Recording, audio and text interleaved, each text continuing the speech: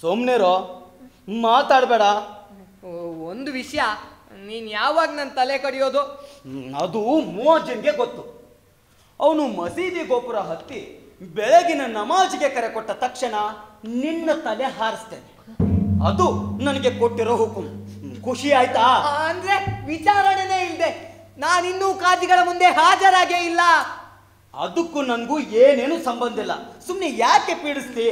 ಅಲ್ಲ ಯಾವ ಅಪರಾಧಕ್ಕೆ ಅಂತ? ಬಾಯಿ ಮುಚ್ಕೊಂಡು ನಿದ್ರೆ ಮಾಡೋಕ್ ಬಿಡೋದು ನಿನಗೆ ಒಳ್ಳೆಯದು ನಿನ್ನ ಹಿತದೃಷ್ಟಿಯಿಂದಾನೇ ನಾನು ನಿಶ್ಚಿಂತೆಯಿಂದ ನಿದ್ದೆ ಮಾಡೋದು ಒಳ್ಳೆಯದು ನಿನ್ನ ಹಿತದೃಷ್ಟಿಯಿಂದಾನೇ. ನನ್ನ ಹಿತದೃಷ್ಟಿ ಅಂದ್ಯಾ? ಹ್ಮ್ ನಿನಗೆ ಒಳ್ಳೆಯದಾಗಬೇಕಾದ್ರೆ ನನಗೆ ಒಳ್ಳೆಯ ವಿಶ್ರಾಂತಿ ಸಿಕ್ಕಿ ನನ್ನ ಆರೋಗ್ಯ ಚೆನ್ನಾಗಿದ್ದು ನನಗೆ ಖುಷಿ ಆಗಬೇಕು ಯಾಕಂದ್ರೆ ನನಗೆ ಆಯಾಸವಾಗಿ ಮನಸ್ಸಿಗೆ ಬೇಜಾರಾಗಿದ್ರೆ ಕಿರಿಕಿರಿಯಾಗಿದ್ರೆ ನನ್ನ ಕೈ ನಡುಗುತ್ತೆ. ಕೆಲಸ ಸರಿಯಾಗಿ ಆಗೋದಿಲ್ಲ. ಏನ್ ಮಹಾ ಕೆಲ್ಸ? ಮುಟ್ಟ ನನ್ನ ಮಗನೇ. ನನ್ನ ಕೆಲಸ ನಿನ್ನ ಹೆಕ್ಕತ್ತಿನ ಮೇಲಿದೆ. ತಿಳ್ಕೊ. ಸರಿಯಾಗಿ ಏಟ್ ಬೀಳಲಿಲ್ಲ ಕತ್ತು ಸರಿಯಾಗಿ ಕತ್ತರಿಸೋದಿಲ್ಲ. ಕತ್ತು ಸರಿಯಾಗಿ ಕತ್ತರಿಸ್ಬೇಕಾದ್ರೆ ಮನಸ್ಸು ಸಮಾಧಾನ ಇರಬೇಕು. ಕೈ ಎದುರಬಾರ್ದು. ಆಗ ನಿನ್ಗೇನು ನೋವಾಗೋದಿಲ್ಲ. ಏಕ್ ಮಾರ್ ದೋ ತುಕಡ. ಅರ್ಥವಾಯ್ತಾ? ಹ್ಮ್. ನೀನೇನಾದರೂ ನನ್ನ ಜಾಗದಲ್ಲಿದ್ದರೆ ಗೊತ್ತಾಗ್ತಿತ್ತು ಏನು ಹೇಳಿದೆ ಅಯ್ಯೋ ದೇವ್ರೆ ಇವನ ಮಾತು ನಿಜವಾಗ್ಲಪ್ಪ ಏನದು ನೀ ಹೇಳ್ತಿರೋದು ನೀನೇನೋ ಹೇಳ್ತಿದ್ಯಲ್ಲ ನನ್ನ ಜಾಗದಲ್ಲಿರೋ ಭಾಗ್ಯ ಅದೃಷ್ಟ ನಿನಗಿತ್ತು ಅಂತ ಅಂತಿಟ್ಕೋ ಏನ್ ಮಾಡ್ತಿದ್ದೆ ಹೇಳು ಹೇಳೇ ಬಿಡ್ಲಾ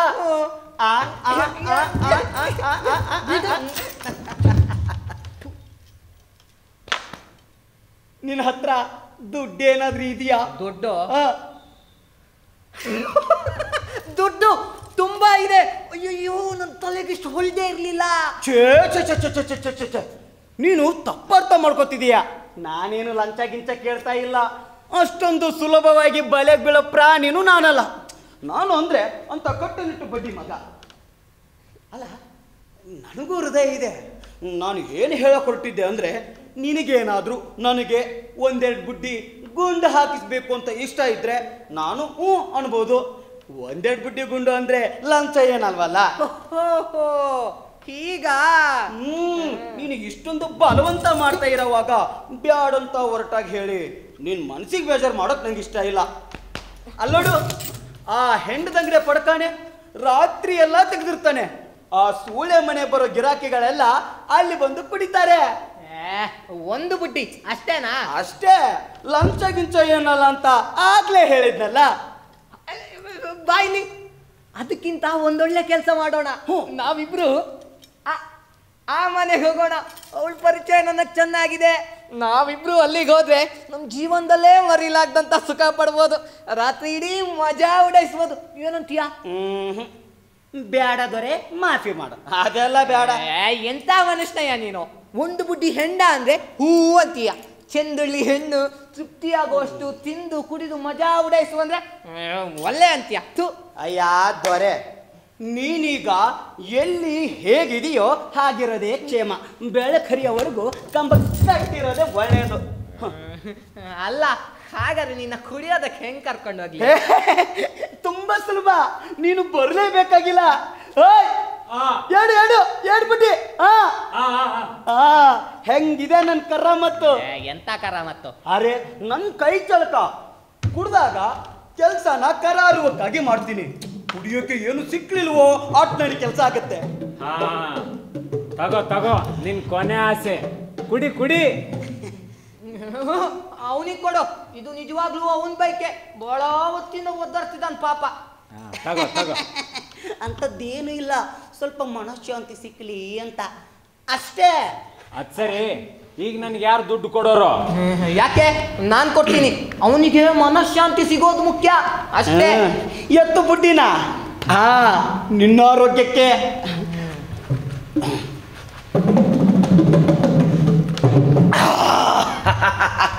ಹ್ಮ್. ಹಾ. ತಗೋ ಗುರುವೆ ಈಗ ನಿನ್ನ ಪಾಳಿ. ಕುಡಿ. ಅಯ್ಯಯ್ಯೋ.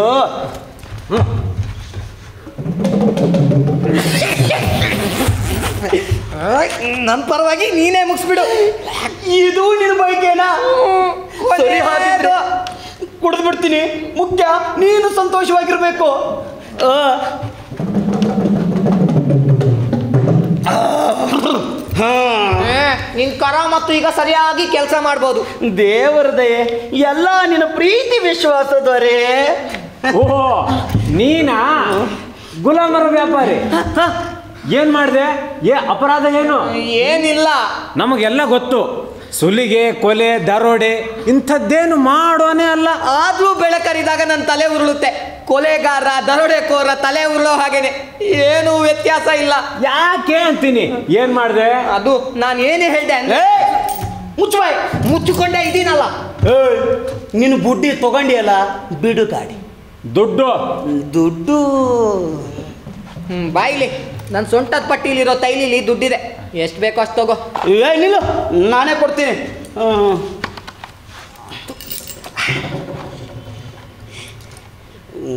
ತಗ. ಚಿಲ್ಡ್ರೆ ನೀನೇ ಇಟ್ಕೋ. ನಾವು ದಿಲ್ದಾರ್ ಮನುಷ್ಯರು. ಬಂದೆ ಬಂದೆ.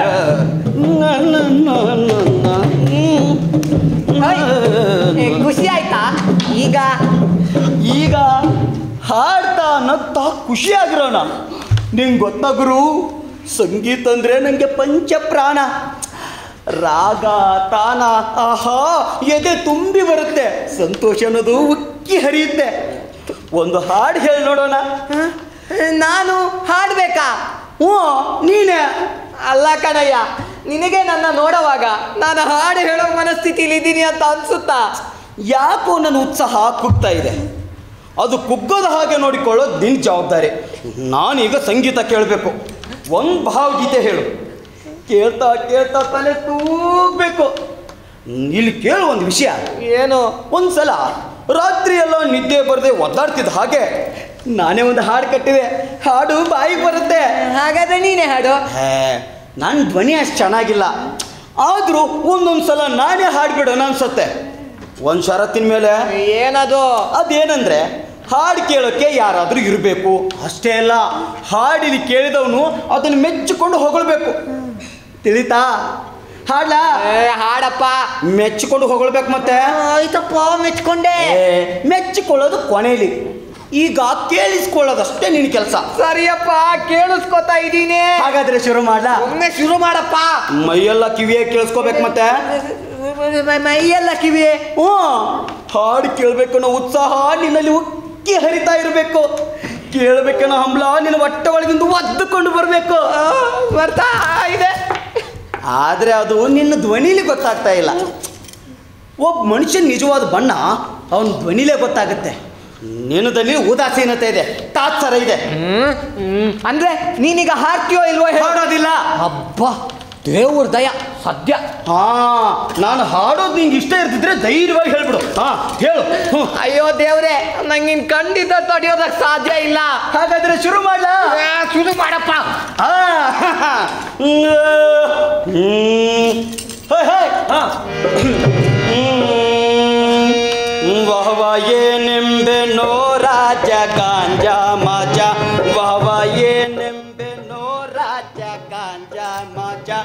ಒಂದೇ ದಮ್ನಲ್ಲೇ ಈ ಲೋಕದ ಮುಷ್ಕಿಲ್ ವಜ. ಮುಂದೆ ಪರಲೋಕ ಕುಳಿಯೋದು ನಾಲ್ಕೆ ಗಜ. ಮುಂದೆ ಪರಲೋಕ ಕುಳಿಯೋದು ನಾಲ್ಕೆ ಗಜ. ಗಾಂಜಾ ಸೇದೋನೆ ಗಾಂಜಾ ಸೇದೋನೆ ಗಾಂಜಾ ಸೇದೋನೆ. ಭೂಲೋಕ ಬಹದೂರ್ ನಿಜ ವಾವ ಏನೆಂಬೆನೋ ರಾಜ ಗಾಂಜಾ ಮಜ. ವಾವ ಏನೆಂಬೆನೋ ರಾಜ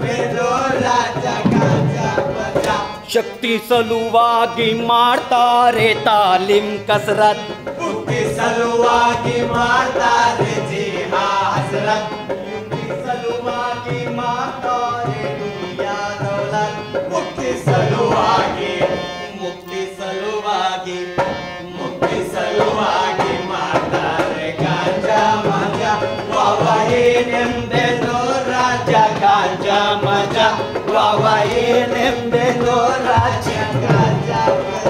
ಹಾ ಯಾಕೆ ಸುಮ್ಮನದಿ ಪಸಂದ್ ಆಗ್ಲಿಲ್ವೇ? ನಿನ್ ತಾರೀಫ್ ಬರ್ಬೇಕಾದದ್ದು ಈಗ. ಇದೇನಾ ನಿನ್ ನಾಜುಕಾದ ಹಾಡು? ಏನೆಂಬೆನೋ ರಾಜ್ಯ ಗಾಂಜಾ ಮಜ. ಎಲ್ರು ಮಲ್ಗಿ ನಿದ್ದೆ ಮಾಡ್ತಿರ್ಬೇಕ ನಿಮ್ದೇನ್ ಗಲಾಟೆ ನಮ್ಮ ಯಜಮಾನ್ತಿಗೆ ತಲೆನೋವು. ನಿದ್ದೆ ಮಾಡ್ಬೇಕು. ಗಲಾಟೆ ಮಾಡಬೇಡಿ. ನಿನ್ನ ಅವಳ ಯಜಮಾನಿ. ಗಲಾಟೆ ನಿಲ್ಸಿ ಅಂತ ಹೇಳ್ದೆ. ನಡೀಲಿಂದ ನಾಚಿಕೆಗಟ್ಟು ಸೂಳೆ ಮನೆ ಆಳೆ. ನಮ್ಮ ಯಜಮಾನಿಗೆ ಅವಮಾನ ಮಾಡ್ತೀಯಾ? ನಿನ್ನಂತ ಇಪ್ಪತ್ತು ಜನನ ತನ್ನ ಚಪ್ಪಲಿ ಒರ್ಸೋದಕ್ಕೆ ಇಟ್ಕೊಳ್ಳೋ ತಾಕತ್ತಿದೆ ಅವರಿಗೆ. ಬಾಯಿ ಮುಚ್ಕೊಂಡು ತೊಲಗ್ತೀಯೋ ಇಲ್ಲ? ಮುಂಡೆನ್ ತಂದು. ಏನ್ ನಡೀತಿದೆ ಅಲ್ಲಿ ಗಲಾಟೆ? ಈ ಕುಡ್ಕ ಸಿಕ್ಕಾಪಟ್ಟೆ ಕೂಗಾತ ನಮ್ಮನ್ ಬೈತಾ ಇದ್ದಾನೆ. ಎಷ್ಟು ಪಗುರು. ಬಿನ್ನಾಣ್ಗಿತ್ತಿ ಭಾರಿ ಸೂಳೆ. ಸ್ವಲ್ಪ ಮರ್ಯಾದೆ ಕೊಟ್ಟು ಮಾತಾಡು. ಓಹೋ ಮರ್ಯಾದೆ ಬೇಕಂತೆ ಮರ್ಯಾದೆ. ಯಾಕೆ? ನಿನ್ನ ಹತ್ರ ಇಲ್ವಾ? ಮಹಿಳೆಯರ ಜೊತೆ ಹೇಗ್ ಮಾತಾಡ್ಬೇಕನ್ನೋದನ್ನ ಹೇಳ್ಕೊಡ್ತೀನಿ ತಡಿ ಓಹೋ ಮಹಿಳೆ ಮಹಾನ್ ಮಹಿಳೆ. ಹೋಗಿ ಅವನಿಗೆ ಸ್ವಲ್ಪ ಮರ್ಯಾದೆಯಿಂದ ಮಾತಾಡೋದನ್ನ ಹೇಳ್ಕೊಡು. ಬಂದೆ ತಡಿ ಗಂಡ್ಸಾಗಿದ್ರೆ ನಿಂತ್ಕೋ. ಏನ್ ಮಾಡ್ತಾಳಪ್ಪ ಈ ಬಜಾರಿ ಬಾಯಿಲಿ ಮಾಡ್ತೀನಿ ಜಾಸ್ತಿ. ಆ ಚಪ್ಪಲಿ ತಗೊಂಡು ಏನ್ ಮಾಡ್ತಿ? ಆ ನಮ್ಮ ಮನೇಲಿ ಗಿದ್ದಕ್ಕಿಂತ ಕೊಡಕಾದ ಹಳೆ ಎಕ್ಕ ಬೇರೆ ಯಾವುದು ಇಲ್ಲ.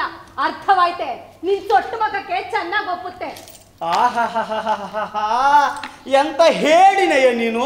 ಅವಳು ಚಪ್ಪಲಿ ತಗೊಂಡು ನಾನು ಹೊಡಿಯೋಕ್ ಬರ್ತಿದ್ರೆ ನಿನ್ನ ಕೈಗೆ ಕೋಳ ತರಿಸ್ಕೊಂಡು ಗುಂಡು ಕಣ್ಣ ಕೂತಿದೀಯಾ?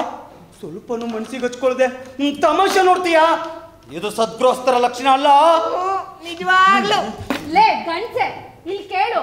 ಪಾಪ. ಈ ಬಡಪಾಯಿನ ಗೋಳು ಹಿಕೋತಿ ಧೈರ್ಯ ಇದ್ರೆ ಮುಂದ್ ಬಾ. ಒಳ್ಳೆ ಮಾತಿನಲ್ಲಿ ತಪ್ಪೊಪ್ಕೊಂಡು ಕ್ಷಮಾಪಣೆ ಕೇಳ್ಕೊ. ಯಾರ ಕ್ಷಮಾಪಣೆ ಕೇಳ್ಕೊಳ್ಳಿ? ನಿಂದು? ನಮ್ಮ ಯಜಮಾನ್ತಿದ್ದು. ಅವರೆಲ್ಲಿದ್ದಾರೆ ಅಮ್ಮವ್ರೆ ತಪ್ಪೊಪ್ಕೊಂಡ ಒಪ್ಕಂಡೆ ಅಮ್ಮನಿಯವರೇ. ಹಾಗಿದ್ರೆ ಕ್ಷಮಿಸಿದೀನಿ. ಇನ್ನೊಂದ್ಸಲ ಹೀಗೇನಾದ್ರೂ ಮಾತಾಡಿದ್ರೆ? ಖಂಡಿತ ಇಲ್ಲ. ಒಂದು ವಿಷಯ ಅಮ್ಮನಿಯವರೇ. ಏನು? ಕೊಚ್ಚಿಕೊಂಡು ಹೋದ ನೀರು ವಾಪಸ್ ಬಂದು ಮೊದಲನ ಹಾಗೆ ಹರಿಯೋದು ನ್ಯಾಯ ಅಲ್ವೇ? ಹೌದು. ಅಂದ್ರೆ ಗುಂಡು ಪುನಃ ನನ್ನ ತಲೆಯಲ್ಲಿ ಹರಿಲಿ ಅಂತ ನಾ ಹೇಳಿದ್ದು. ಏನ್ ಹಾಗಂದ್ರೆ? ಇಲ್ಲಿ ಸ್ವಲ್ಪ ಜಖಮ್ ಆಗಿದೆ. ದುರಸ್ತಿ ಆಗ್ಬೇಕು. ಈ ನಿಮ್ಮ ಆಳ್ಮಗಳು! ನನ್ನ ತಲೆಗೇರಿದ ಖುಷಿನೆಲ್ಲ ಇಳಿಸ್ಬಿಟ್ಟಿದ್ದಾಳೆ. ಅದನ್ನ ಹೇಗೆ ತುಂಬಿಸಿಕೊಳ್ಳೋದು? ನೀನೇನು ಯೋಚನೆ ಮಾಡಬೇಡ. ಅಲ್ಲಿ ಹೋಗಿ ಕುಡಿದು ಸಾಯಿ. ಹಣ ನಾ ಕೊಡ್ತೀನಿ. ಬಾಳ ಉಪಕಾರಾಯ್ತು ನಿಮ್ಮಂತ ಪುಣ್ಯಾತ್ಮರು ಬಾಳ ನ.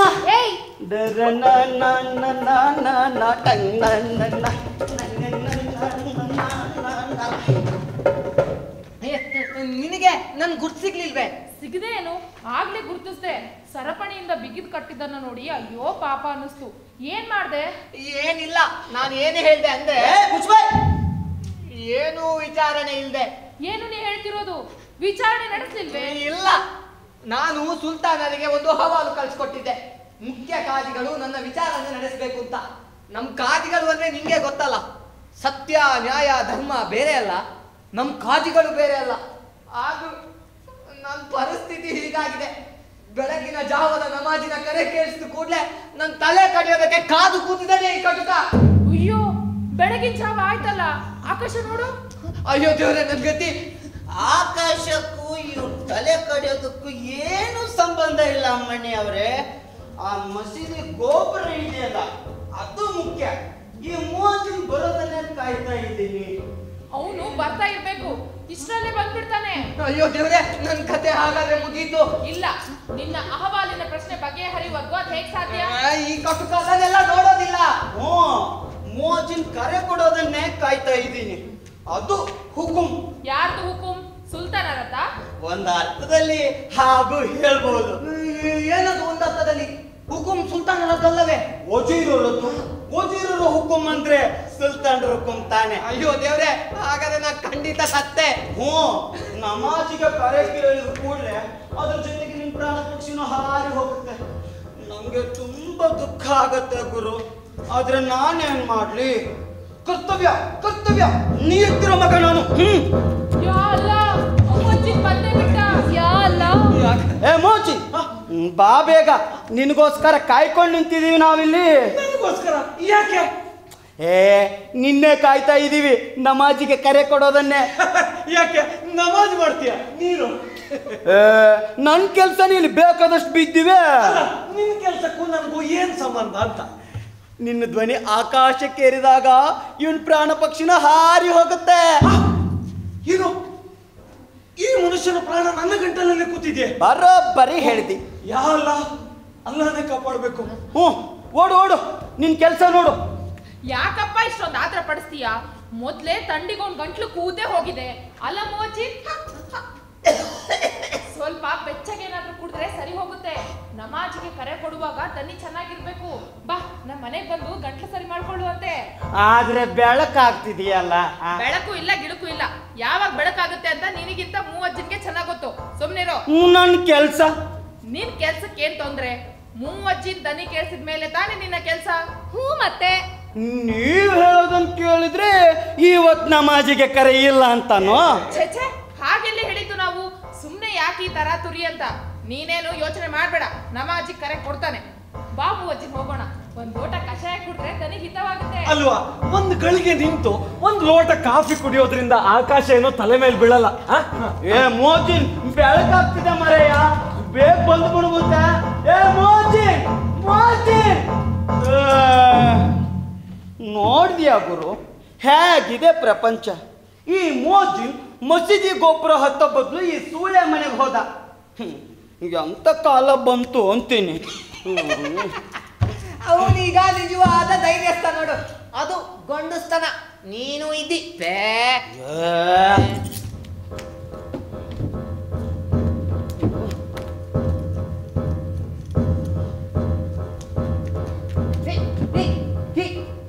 ಅಲ್ಲ ಅವನ್ ನಮಾಜಿಗೆ ಕರೆ ಕೊಡ್ಲಿಲ್ಲ ಅಂತ. ನೀನ್ ಯಾಕೆ ಇಷ್ಟೊಂದು ಹಾರಾಡ್ತಿದ್ಯಾ? ನಿಂಗೆ ಯಾಕೆ ಇಷ್ಟೊಂದು ಗಾಬ್ರಿ? ಕರ್ತವ್ಯ ಪ್ರಶ್ನೆ ಆಗ್ತಿದ್ದೀನಿ ಅಂತ. ಏ, ನಿನ್ ಕರ್ತವ್ಯ ಏನು? ಬೆಳಗ್ಗಿನ ಜಾವದ ನಮಾಜಿನ ಕರೆ ಕೇಳಿಸಿದ ಮೇಲೆ ತಾನೆ. ಕರೆ ಕೊಡೋನ್ ಯಾರು? ನೀನೋ ಮೂವಜ್ಜಿನೋ? ನಂಗೆ ಎಂತ ಅವಲ ಗೋಪುರ ಹತ್ತಿ ಗಂಟು ಹರ್ಕೊಳಕ್ಕೆ? ಅವನ್ ಕೂಗಿದ್ದು ಕೇಳಿಸ್ತಾ? ಇಲ್ಲ. ಹಾಗಾದ್ರೆ ಇದ್ರಲ್ಲಿ ನಿಂದೇನ್ ತಪ್ಪು? ನ್ಯಾಯವಾಗಿ ನಂದೇನು ತಪ್ಪಿಲ್ಲ. ಆದ್ರೆ ಅದನ್ನೇ ನಾನು ಅಷ್ಟೊತ್ತಿಂದ ಪಡ್ಕೋತಿರೋದು? ನೀನೇನೋ ಸುಲಭವಾಗಿ ಧೈರ್ಯ ಹೇಳ್ಬಿಡ್ತೀಯ. ಆದ್ರೆ ನಾನು ಅಲ್ಲೋಡು ಎಷ್ಟೊಂದು ಜನ ಬರ್ತಿದ್ದಾರೆ? ವಜರು ಸಿಪಾಯಿಗಳು ಎಲ್ಲರೂ ಬರ್ತಿದ್ದಾರೆ. ಹೆದರ್ಕೋಬೇಡ ಸಮಾಧಾನ ಮಾಡ್ಕೊ. ನಂದೇನು ತಪ್ಪಿಲ್ಲ ನನಗೇನು ಸಜೆ ಕೊಡೋದಿಲ್ಲ ಅಲ್ವಾ? ಎಲ್ಲ ಈ ಹಾಳು ಮೋಜಿಂದ ತಪ್ಪು ಸರಿಯಾಗಿ ಸಜೆ ಕಾದಿದೆ ಪಟ್ಟಿ ಮಗನ್ಗೆ. ಅಯ್ಯೋ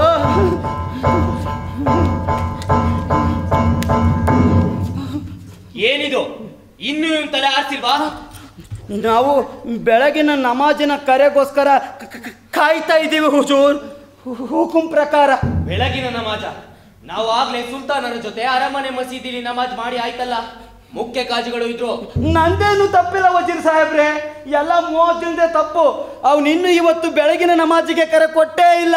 ಏನು ಹಾಗಂದ್ರೆ? ನಂಬೋದಕ್ಕೆ ಆಗೋದಿಲ್ಲ. ಎಲ್ಲಿ ಆ ಮೋಜಿ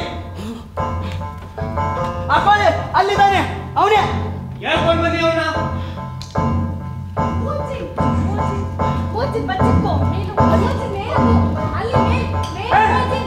ಇಳಿಯೋ ಕೆಳಗೆ ಕೆಳಗೆ.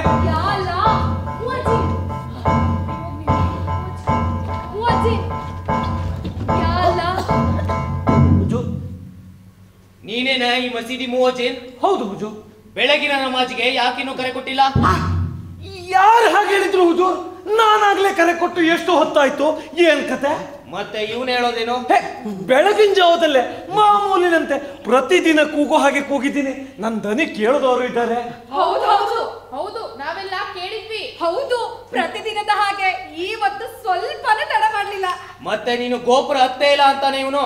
ಮೂಗಿನವರೆಗೆ ಕುಡ್ದು ಗೊರಕೆ ಹೊಡಿತಾ ಮಲಗಿದ್ರೆ ಅದ್ ಹೇಗೆ ಕೇಸತ್ತೆ ಹೇಳಿ? ಹ್ಮ್ ಇವನ್ ಗೊಕ್ಕೆ ಜೋರಿಗೆ ನಮ್ ನಿದ್ದೆ ಎಲ್ಲ ಹಾಳಾಯ್ತು. ಏನಯ್ಯ? ನೀನು ಕರ್ತವ್ಯ ನಿರ್ವಹಿಸೋದು ಹೀಗೇನಾ? ಪ್ರಮಾಣ ಮಾಡಿ ಹೇಳ್ತೀನಿ ವಜೀರ್ ಸಾಹೇಬ್ರೆ. ಅಲ್ಲ ಬಾಯಿ ಮುಚ್ಚು. ವಜೀರ್ ಸಾಹೇಬ್ರೆ ನನ್ನ ಪ್ರಾರ್ಥನೆ ಸ್ವಲ್ಪ ಕೇಳಿ. ನಾನು ಸುಲ್ತಾನರಿಗೆ ಒಂದು ಹವಾಲು ಕಲ್ಸ್ಕೊಟ್ಟಿದ್ದೆ. ಪ್ರಮಾಣ ಮಾಡಿ ಹೇಳ್ತೀನಿ ವಜೀರ್ ಸಾಹೇಬ್ರೆ. ನಾನು ರಾತ್ರಿ ಎಲ್ಲ ಎಚ್ಚರವಾಗೇ ಇದ್ದೆ. ಇವನು ಅಂದೆ. ವಜೀರ್ ಸಾಹೇಬ್ರೆ. ಹೌದು ನಿನ್ನ ಅಹವಾಲು ಸುಲ್ತಾನರಿಗೆ ತಲುಪಿದೆ. ಮುಖ್ಯ ಕಾಜಿಗಳ ಬಳಿ ವಿಚಾರಣೆ ಕಳಿಸಬೇಕು ಅಂತ ಹುಕುಂ ಮಾಡಿದ್ದಾರೆ. ಸ್ವತಃ ಸುಲ್ತಾನರೇ ನಿನ್ನ ವಿಚಾರಣೆ ನಡೆಯುವಾಗ ಇರ್ತಾರೆ. ಯಾಲ್ಲ ಸಿಪಾಯಿಗಳೇ ಜಿ. ಇಲ್ಲಿರೋ ಜನರನ್ನೆಲ್ಲ ವಜೀರ್ ಸಾಹೇಬ್ರೆ ನಂದೇನು ತಪ್ಪು!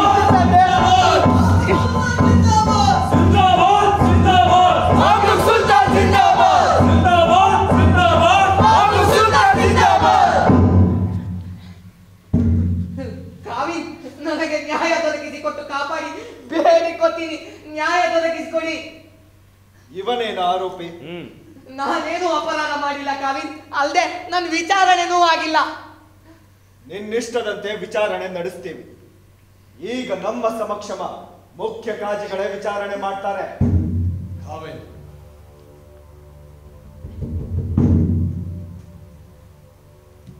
ಇವನ ಕೋಳ ತೆಗೀರಿ. ಹ್ಮ್ ಹ್ಮ್.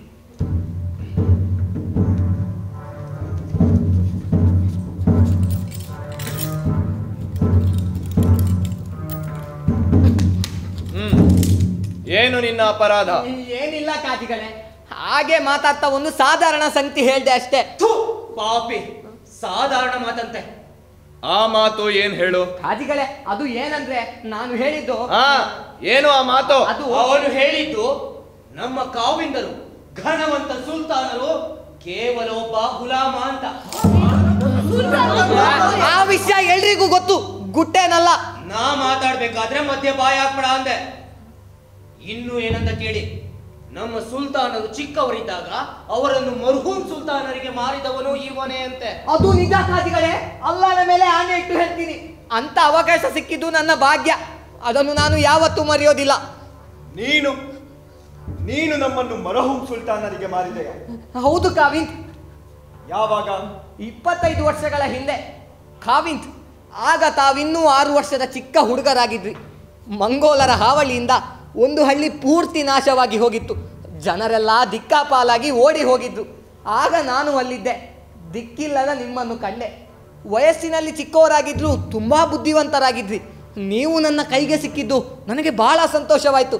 ತಕ್ಷಣ ತಮ್ಮನ್ನು ಕರ್ಕೊಂಡು ಮರಹೂಮ್ ಸುಲ್ತಾನರ ಬಳಿ ಬಂದೆ. ಒಂದು ಸಾವಿರ ದೀನಾರ್ ಕೊಟ್ಟು ಕೊಂಡುಕೊಂಡ್ರು ಕಾವಿಂತ್ ಬರೇ ಒಂದು ಸಾವಿರ ನಿಮ್ಮ ಕಿಮ್ಮತ್ತು ಅದಕ್ಕಿಂತ ಜಾಸ್ತಿ ಇತ್ತು. ಆದ್ರೆ ಗುಲಾಮರ ವ್ಯಾಪಾರದಲ್ಲಿ ನಾನಿನ್ನೂ ಆಗ ಹೊಸಬ. ನನಗಾಗ ಬರೇ ಇಪ್ಪತ್ತಾರು ವರ್ಷ.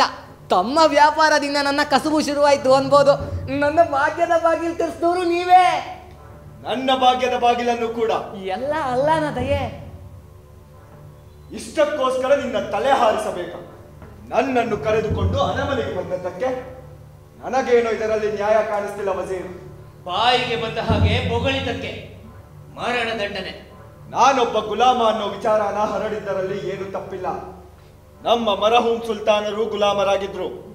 ಅಲ್ಲವೇ ಬಸೀರ್? ಅದೇನೋ ಸರಿ ಕಾವಿನ್. ಆದ್ರೆ ಇದು ಸತ್ಯ ಅಲ್ಲವೇ ಕಾಸಿಗಳೇ? ಸತ್ಯ ಕಾವೇನ್. ಮೊದಲಿನಿಂದಲೂ ನಮ್ಮದು ಗುಲಾಮಿ ವಂಶ. ಮಾಮ್ಲುಕ್ ಸುಲ್ತಾನರೆಲ್ಲರೂ ಚಿಕ್ಕ ಹುಡುಗರನ್ನು ಕೊಂಡುಕೊಂಡು ಅವರಿಗೆ ಅರಮನೆಯಲ್ಲಿ ಒಳ್ಳೆ ತರಬೇತಿ ನೀಡಿ ಸರಿಯಾದ ಶಿಸ್ತಿನಿಂದ ಬೆಳೆಸ್ತಾ ಇದ್ರು. ಅವರೇ ಮುಂದೆ ಒಳ್ಳೆ ನಾಯಕರು ಸುಲ್ತಾನರು ಆಗಿ ದೇಶ ಆಳ್ತಿದ್ರು. ಅಂತಹ ಸುಲ್ತಾನರಲ್ಲೇ ತಾವೇ ಅತ್ಯಂತ ಬುದ್ಧಿವಂತರು ಶ್ರೇಷ್ಠರು ಅನ್ನೋದ್ರಲ್ಲಿ ಸಂದೇಹನೇ ಇಲ್ಲ. ತಾವು ನಮ್ಮ ಸುಲ್ತಾನರಾಗಿರೋದು ನಮ್ಮ ಜನಗಳ ಭಾಗ್ಯ.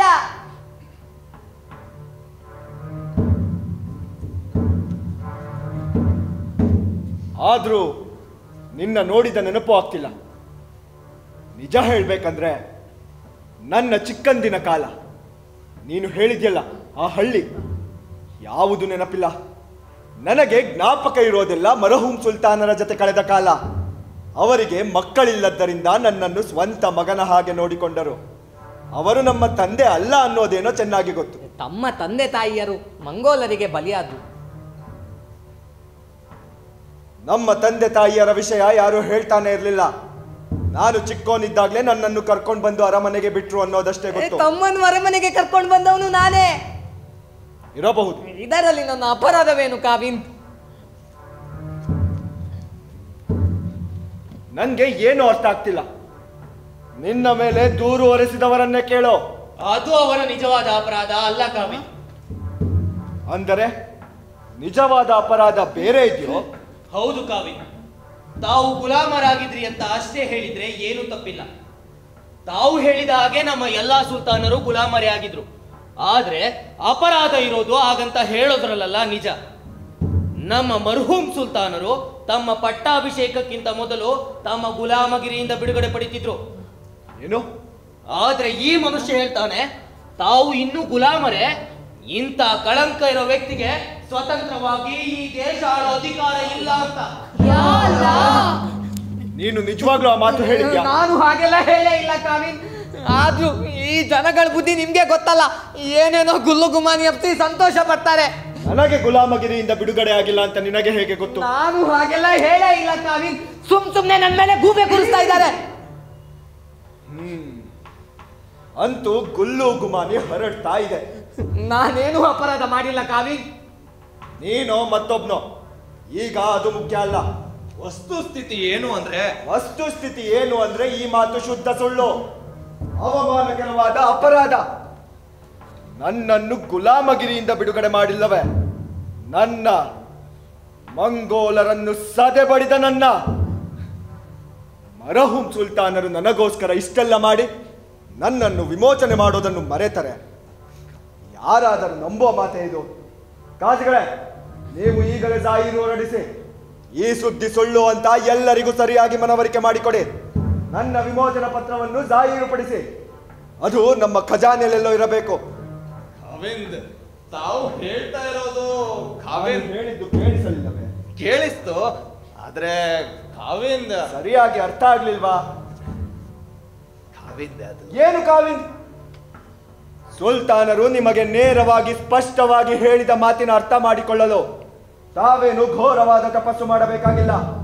ನನ್ನ ವಿಮೋಚನ ಪತ್ರವನ್ನು ಜಾಹೀರುಪಡಿಸಬೇಕು ಅಷ್ಟೇ. ಈಗಲಾದ್ರೂ ಅರ್ಥವಾಯ್ತು? ಅರ್ಥ ಆಯ್ತು ಕಾವಿಂದ್ ಇನ್ನೂ ಗಟ್ಟ ಕೆರ್ಕೋತಾನೆ ಇದ್ದೀರಲ್ಲ. ಒಂದು ನಿಮಿಷ ಅದರ ಪಾಡಿಗೆ ಅದನ್ನು ಬಿಡಬಾರದೆ. ಕಾವಿನ್ ನಾನು ತಮ್ಮಲ್ಲಿ ಅರಿಕೆ ಮಾಡಿಕೊಳ್ಳುವುದೇನು ನಿಮ್ಮದೇನು ತಕರಾರು? ನಿಮ್ಮ ಗಡ್ಡನು ಕಡಿತಿದ್ಯಾ? ತಾವು ಅಪ್ಪಣೆ ಕೊಟ್ರೆ ಇಬ್ರು ಸರಿಯಾಗಿದ್ದೀರ? ನನ್ನ ಪುಣ್ಯಕ್ಕೆ ಎಣೆಯೇ ಇಲ್ಲ. ಕಾವಿಂದರ ಅಪ್ಪಣೆ ಆದ್ರೆ ಈ ವಿಚಾರಣೆನ ಸ್ವಲ್ಪ ಮುಂದೆ ಹಾಕಬಹುದಾ ಅಂತ. ಹೌದು ಕಾವಿನ್ ಅದೇ ಸರಿ. ನಾವು ನಾವೇ ಏನಾದ್ರೂ. ನನಗೂ ಹಾಗೆ ಅನ್ಸುತ್ತೆ. ನೀವಿಬ್ರು ಗಡ್ಡ ಕೆರ್ಕೊಳ್ಳೋದನ್ನ ನೋಡಿದ್ರೆ. ನೋಡ್ತಿದ್ದೀರಿ? ಕಾವಿನ್ ನಂದೇನು ತಪ್ಪಿಲ್ಲ ಕಾವಿನ್ ಕಾವಿನ್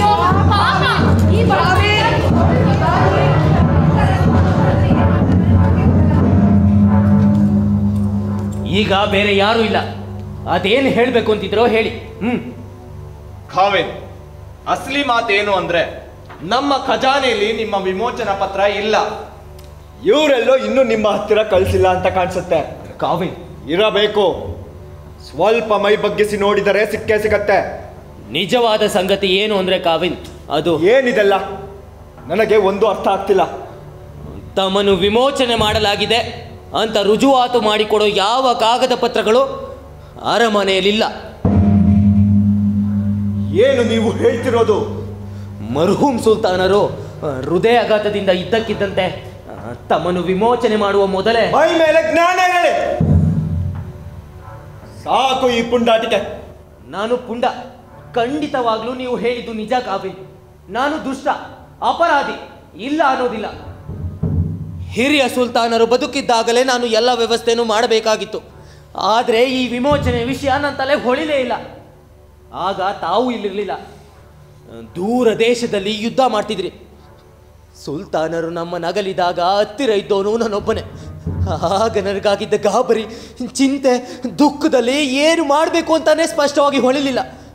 ಹಾಂ, ಸುಲ್ತಾನ್ರಿಗೆ ನಿಷ್ಠೆಯಿಂದ ಸೇವೆ ಸಲ್ಲಿಸ್ತೀನಿ ಅಂತ ಮಾತು ಕೊಡೋದನ್ನು ಮಾತ್ರ ಮರಿಲಿಲ್ಲ ಕಾವಿ ಬೇರೆಲ್ಲ ವಿಷಯ ಮುಖ್ಯ ಅಂತ ಅನಿಸ್ಲಿಲ್ಲ. ಆಹಾ ನಿನ್ನ ನಿಷ್ಠೆನ ನೋಡ್ತಾನೆ ಇದೀವಲ್ಲ. ಕಾವಿ ತಮ್ಮ ಜನಪ್ರಿಯತೆ ಘನತೆ ಗೌರವ ವರ್ಚಸ್ಸು ಇವೆಲ್ಲ ತಾವು ಗುಲಾಮರು ಅನ್ನೋದನ್ನ ಮರೆಯೋ ಹಾಗೆ ಮಾಡಿತ್ತು. ತಾವು ಗುಲಾಮರಲ್ಲ ಅಂತ ರುಜುವಾತು ಮಾಡಿಕೊಡೋ ಯಾವ ಕಾಗದ ಪತ್ರಗಳ ಅವಶ್ಯಕತೆ ಇದೆ ಅಂತ ಅನಿಸ್ಲಿಲ್ಲ. ತಮ್ಮ ವ್ಯಕ್ತಿತ್ವ ಅಷ್ಟು ಬೆಳೆದಿತ್ತು. ಈ ವಿಚಾರನ ಯಾರು ಕೆದಕೋದಿಲ್ಲ ಅಂತ ಸಮಾಧಾನ ಮಾಡಿಕೊಂಡು. ಈಗ ಯಾರೋ ವಿಚಾರನ ಕೆದಕಿ ಬಿಟ್ಟಿದ್ದಾರಲ್ಲ?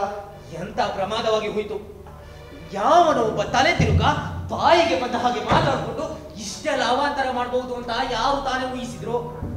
ಅವನ ಬಾಯಿ ಮುಚ್ಚಿಸುವುದಕ್ಕೆ ಅವನ ತಲೆ ಹಾರಿಸುವ ವ್ಯವಸ್ಥೆ ಆಗಿತ್ತು ಹೌದು ಕಾವೇರಿ ವಜೀರ್ ಮಾಡಿದ ತಪ್ಪನ್ನು ಮುಚ್ಚಿಡೋದಕ್ಕೆ ಆ ಬಡಪಾಯಿ ಪ್ರಾಣ ತೆರಬೇಕು.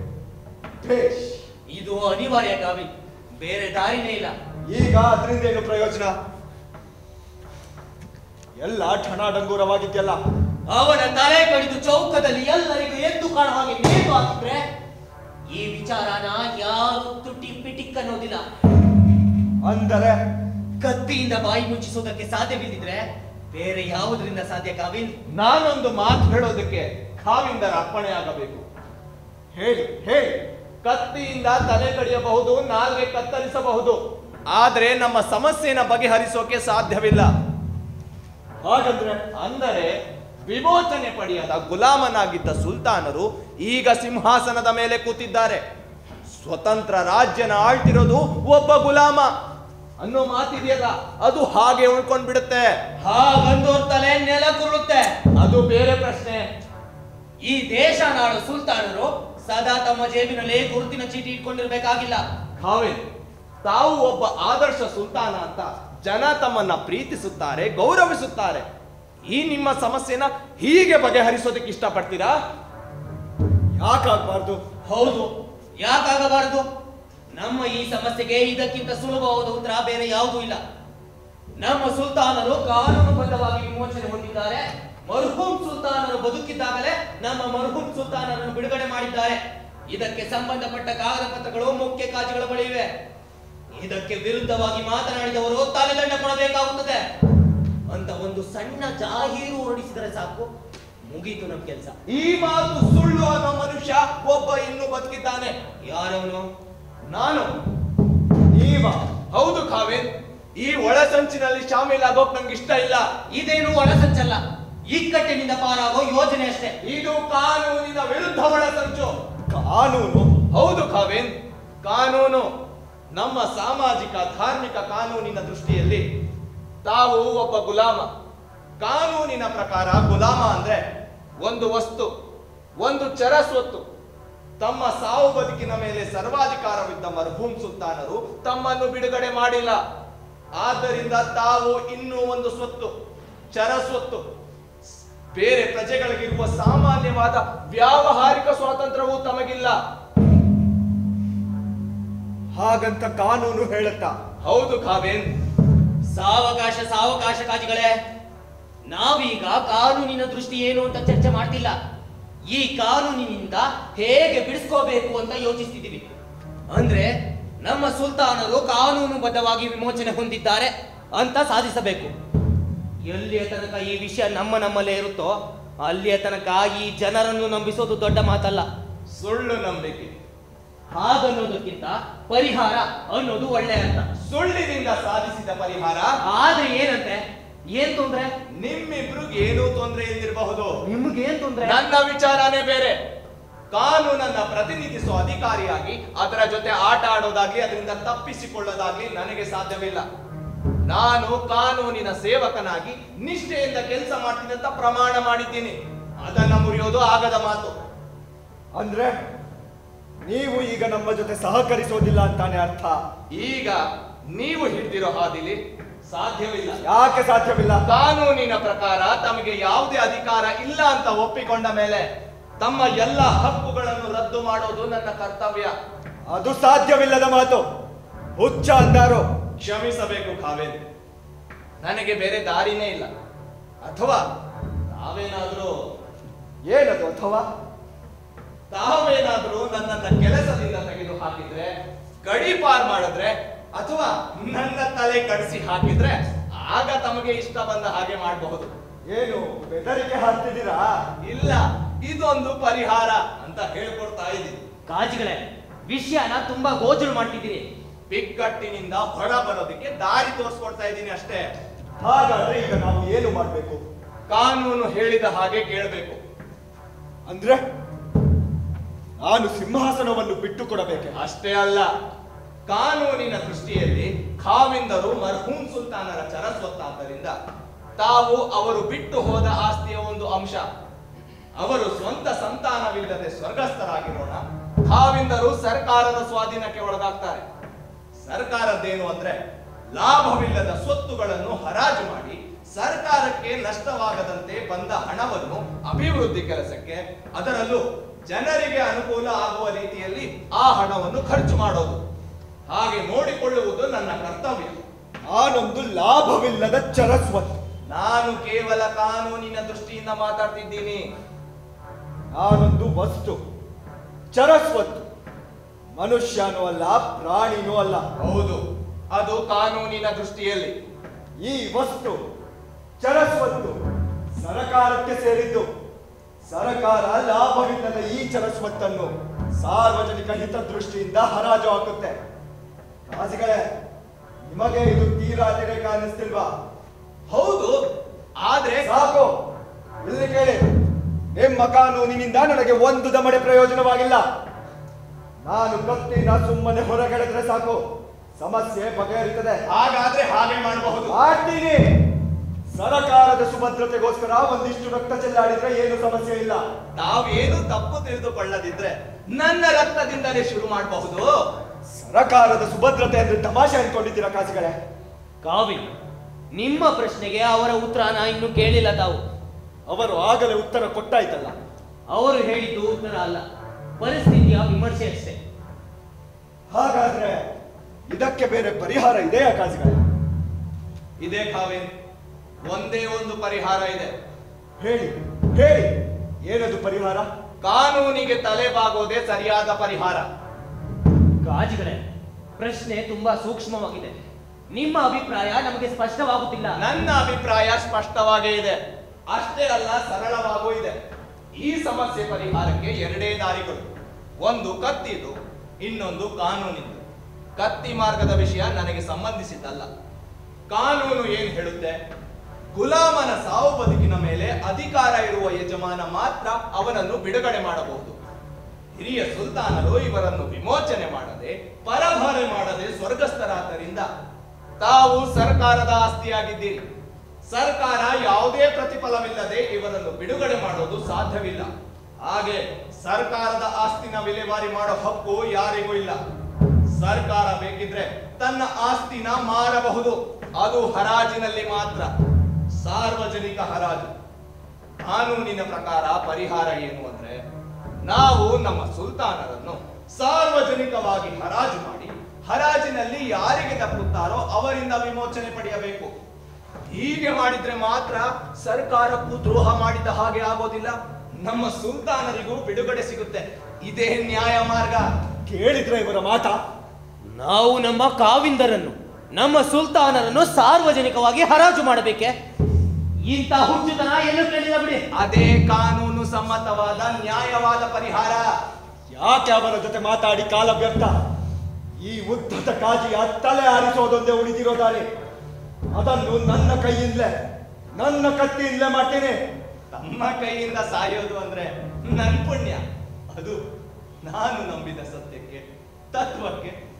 ಇದಕ್ಕಿಂತ ದೊಡ್ಡ ಗೌರವ ಬೇರೆ ಏನಿದೆ? ಸ್ವಾಮಿ ತಾಳ್ಮೆ ಇರಲಿ ಇವರು ಹುತಾತ್ಮರಾಗೋದು ಒಳ್ಳೆಯದಲ್ಲ. ಇವರನ್ನು ಕೊಂದು ತಾವು ಸಾಮಾಜಿಕ, ಧಾರ್ಮಿಕ ಕಾನೂನುಗಳನ್ನು ನಾಶ ಮಾಡಿದ್ರಿ ಅಂತ ಜನ ಆಡ್ಕೋಬಾರ್ದು. ಸತ್ಯ, ಆದರ್ಶ ಅಂತ ಇವರು ಪ್ರಾಣ ಬಿಟ್ರೆ ಜನರ ಮನಸ್ಸಿನಲ್ಲಿ ಮಹಾತ್ಮರಾಗ್ತಾರೆ, ಸಂತರಾಗ್ತಾರೆ, ದೇವರೇ ಆಗಿಬಿಡ್ತಾರೆ. ಸರ್ವಾಧಿಕಾರಿಗಿಂತ ಹುತಾತ್ಮ ಜನರ ಮೇಲೆ ಹೆಚ್ಚು ಪ್ರಭಾವ ಬೀರುತ್ತಾನೆ. ನಮ್ಮ ಈ ಪರಿಸ್ಥಿತಿಯ ಲಾಭ ಅವರಿಗೆ ದಕ್ಕದಂತೆ ನೋಡಿಕೊಳ್ಳಬೇಕು. ಹಾಗಾದ್ರೆ ಈಗ ನಾನು ಏನು ಮಾಡಲಿ? ಒಳ್ಳೆ ಸಂದಿಗ್ಧ. ಇವರು ತೋರಿಸಿರೋ ಎರಡು ದಾರಿನೂ ನಮಗೆ ಅನುಕೂಲವಾಗಿಲ್ಲ. ಕಾನೂನಿನ ದಾರಿ ಹಿಡಿದ್ರೆ ನಾನೊಬ್ಬ ನರಸತ್ತ ಸುಲ್ತಾನ ಅಂತ ಜನ ಆಡ್ಕೊಂಡು ನಗ್ತಾರೆ. ಕತ್ತಿ ಹಿಡಿದ್ರೆ ಕ್ರೂರಿ ಸರ್ವಾಧಿಕಾರಿ ಅಂತ ಬೊಬ್ಬೆ ಹಾಕ್ತಾರೆ. ಕಾಜುಗಳೇ ಕಟ್ಟ ಕಾನೂನಿನ ಗುಲಾಮರಾಗಬೇಡಿ. ನಮ್ಮ ಕಷ್ಟ ಸ್ವಲ್ಪ ಯೋಚಿಸಿ ಒಂದು ಸಮಂಜಸವಾದ ದಾರಿ ಹುಡುಕಿ ಕಾನೂನಿಗಿಂತ ಸಮಂಜಸವಾದ ದಾರಿ ಬೇರೆ ಯಾವುದು ಇಲ್ವಲ್ಲ? ಅಂದ್ರೆ ನಾವು ನಮ್ಮ ಸುಲ್ತಾನರನ್ನು ಹರಾಜು ಮಾಡಬೇಕು. ಹೌದು. ಆಗ ಹರಾಜಿನ ಕಾಗದ ಪತ್ರಗಳನ್ನು ರುಜು ಮಾಡುವಾಗ ಕೊಂಡುಕೊಂಡವನು ಸುಲ್ತಾನರನ್ನು ಬಿಡುಗಡೆ ಮಾಡಬೇಕು ಅಂತ ಷರತ್ ಹಾಕ್ಬೇಕು. ಸುಖ ಸುಮ್ಮನೆ ಈ ರೀತಿ ಹಣ ಕಳೆದುಕೊಳ್ಳೋದಕ್ಕೆ ಯಾರು ತಾನೇ ಮುಂದೆ ಬರ್ತಾರೆ? ಹಾ ನಾವೇ ಯಾಕೆ ಈ ಕೆಲಸ ಮಾಡಬಾರ್ದು? ನಾನು ನೀವು ನಮ್ಮ ಹಣದಿಂದಲೇ ಸುಲ್ತಾನರನ್ನು ಕೊಂಡುಕೊಳ್ಳೋದು ತಕ್ಷಣ ಬಿಡುಗಡೆ ಮಾಡಿ ಬಿಡೋದು ಈ ಸಾರ್ವಜನಿಕ ಹರಾಜಿನ ಹಗರಣ ಇಲ್ಲದೆ. ಏ ಇದು ಸಾಧ್ಯವಿಲ್ಲ. ಈ ವ್ಯವಹಾರ ಗುಟ್ಟಾಗಿರೋದು ಕಾನೂನಿಗೆ ವಿರುದ್ಧ. ಸರ್ಕಾರ ಮಾರುವ ಪ್ರತಿಯೊಂದು ವಸ್ತುವು ಸಾರ್ವಜನಿಕ ಹರಾಜಿನ ಮುಖಾಂತರವೇ ಆಗಬೇಕು ಅಂತ ಕಾನೂನು. ಸುಮ್ಮನೆ ಯಾಕೆ ಅವರ ಹತ್ತಿರ ಕಂಠಶೋಷಣೆ? ನಮ್ಮನ್ನು ಬೀದಿಗೆಳೆದು ಮಾರಬೇಕು ಅಂತ ಅವರು ತೀರ್ಮಾನ ಮಾಡಿಬಿಟ್ಟಿದ್ದಾರೆ. ತಮ್ಮ ಕೀರ್ತಿಗೆ ಎಳ್ಳಷ್ಟು ಕಳಂಕ ಬಾರದ ರೀತಿಯಲ್ಲಿ ತಾವು ಈ ರಾಜ್ಯವನ್ನ ಆಳ್ಬೇಕನ್ನೋದೇ ನನ್ನ ಸ್ವಂತ ಆಸೆ. ಅಂದ್ರೆ ನನ್ನನ್ನು ನಡು ಬೀದಿಲಿ ಹರಾಜು ಹಾಕೋದ್ರಿಂದ ಜನಸಾಮಾನ್ಯರ ಹಾಗೆ ಸುಲ್ತಾನರು ಕಾನೂನಿಗೆ ತಲೆಬಾಗಿದ್ರೆ ಅವರ ಕೀರ್ತಿ ಖಂಡಿತ ಹೆಚ್ಚುತ್ತೆ. ಸ್ವಾಮಿ, ನನ್ನ ಸೊಂಟದಲ್ಲಿರೋ ಕತ್ತಿ ಬರೀ ಅಲಂಕಾರಕ್ಕೋ ಅಥವಾ ಅದಕ್ಕೆ ಬೇರೆ ಏನಾದ್ರೂ ಕೆಲಸ ಇದೆಯೋ? ಕೆಲಸ ಇದೆ ಆಯ್ಕೆ ನಿಮ್ದೆ ಕಾವೇನ್ ಇಷ್ಟ ಇದ್ರೆ ಅಲಂಕಾರಕ್ಕೆ ಉಪಯೋಗಿಸಬಹುದು. ಇಲ್ಲದಿದ್ರೆ ಅದರ ಶಕ್ತಿನ ಚಲಾಯಿಸಿ ಪ್ರಯೋಜನ ಪಡೆಯಬಹುದು. ಕತ್ತಿಗೆ ತುಂಬಾ ಶಕ್ತಿ ಇದೆ. ಕೆಲಸ ಬೇಗ ಆಗುತ್ತೆ. ಆದ್ರೆ ಅದು ಅತ್ಯಂತ ಬಲಿಷ್ಠನಿಗೆ ಮಾತ್ರ ಅಧಿಕಾರ ಕೊಡುತ್ತೆ. ನಾಳೆ ಯಾರು ಬಲಿಷ್ಠರಾಗ್ತಾರೆ ಅನ್ನೋದು ಹೇಗೆ ಹೇಳೋದು? ನಿಮ್ಮ ವಿರುದ್ಧ ದಂಗೆ ಹೇಳೋ ಜನ ನಾಳೆ ಕಾಣಿಸಬಹುದು ಆದರೆ ಕಾನೂನಿನಿಂದ ಎಲ್ಲ ತರದ ಆಕ್ರಮಣಗಳ ವಿರುದ್ಧ ರಕ್ಷಣೆ ಸಿಗುತ್ತೆ. ಯಾಕೆ ಅಂದ್ರೆ ಕಾನೂನು ವ್ಯಕ್ತಿ ಎಷ್ಟು ಬಲಿಷ್ಠ ಅನ್ನೋದನ್ನು ನೋಡುವುದಿಲ್ಲ. ಅದು ಮನುಷ್ಯನ ಹಕ್ಕನಷ್ಟೇ ನೋಡುತ್ತೆ. ಈಗ ತಾವು ಈ ಎರಡು ದಾರಿಗಳಲ್ಲಿ ಒಂದನ್ನು ಆರಿಸಿಕೊಳ್ಳಬೇಕು. ಕತ್ತಿಯಿಂದ ನೀವು ಬೇರೆಯವರ ಬಾಯಿ ಮುಚ್ಚಿಸಬಹುದು ಆದ್ರೆ ಅದು ನಿಮಗೆ ಕೆಟ್ಟ ಹೆಸರು ತರುತ್ತೆ. ಕಾನೂನು ನಿಮ್ಮನ್ನ ಹೆದರಿಸುತ್ತೆ. ಆದ್ರೆ ನಿಮ್ಮ ಹಕ್ಕನ್ನು ಕಾಪಾಡುತ್ತೆ. ಜನರ ಬಾಯಿ ಮುಚ್ಚಿಸಿ ನನ್ನ ಹೆಸರು ಕಿಡಿಸಿ ಬಯಲು ಮಾಡೋ ಕತ್ತಿ. ನನ್ನನ್ನು ಹೆದರಿಸಿ ಕಾಪಾಡೋ ಕಾನೂನು. ಹೌದು ಎರಡೇ ದಾರಿಗಳು. ಯಾವುದನ್ನು ಬೇಕಾದರೂ ಆರಿಸಿಕೊಳ್ಳಬಹುದು ವಜೀರ್ ಯಾವುದನ್ನು ಆಯ್ಕೆ ಮಾಡೋಣ? ಕಾವಿ ನಿಮಗೆ ಇಷ್ಟ ಬಂದದನ್ನು ಆರಿಸಿಕೊಳ್ಳಬಹುದು.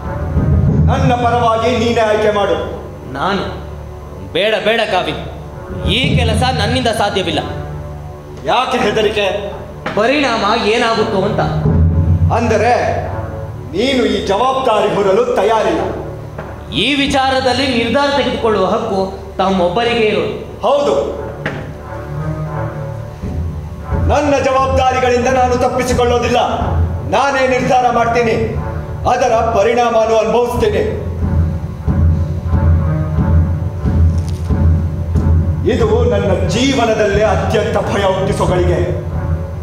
ಈ ಕ್ಷಣದಿಂದ ನನ್ನ ಬದುಕೆ ಬುಡ ಮೇಲಾಗಬಹುದು ಎಲ್ಲ ಬದಲಾಗಬಹುದು. ಕತ್ತಿ ಅಥವಾ ಕಾನೂನು. ಕತ್ತಿ ಕಾನೂನು. ಕಾನೂನು ಅಥವಾ ಕತ್ತಿ.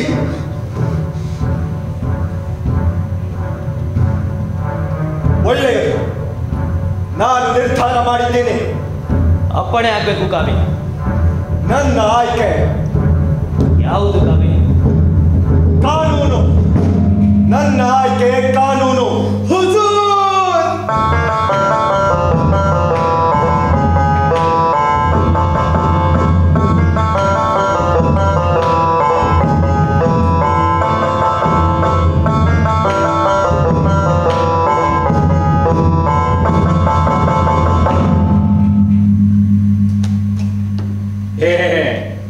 ವಿಚಿತ್ರ ಆಸಮಿ ನೀನು. ಇವತ್ತು ಬಾಗಿಲು ತೆಗೆದುಕೊಂಡು ಕೆಲಸ ಮಾಡ್ತಾ ಕೂತಿದೀಯಲ್ಲ ಯಾಕೆ ಕೆಲಸ ಮಾಡಬಾರ್ದು ಇವತ್ತು?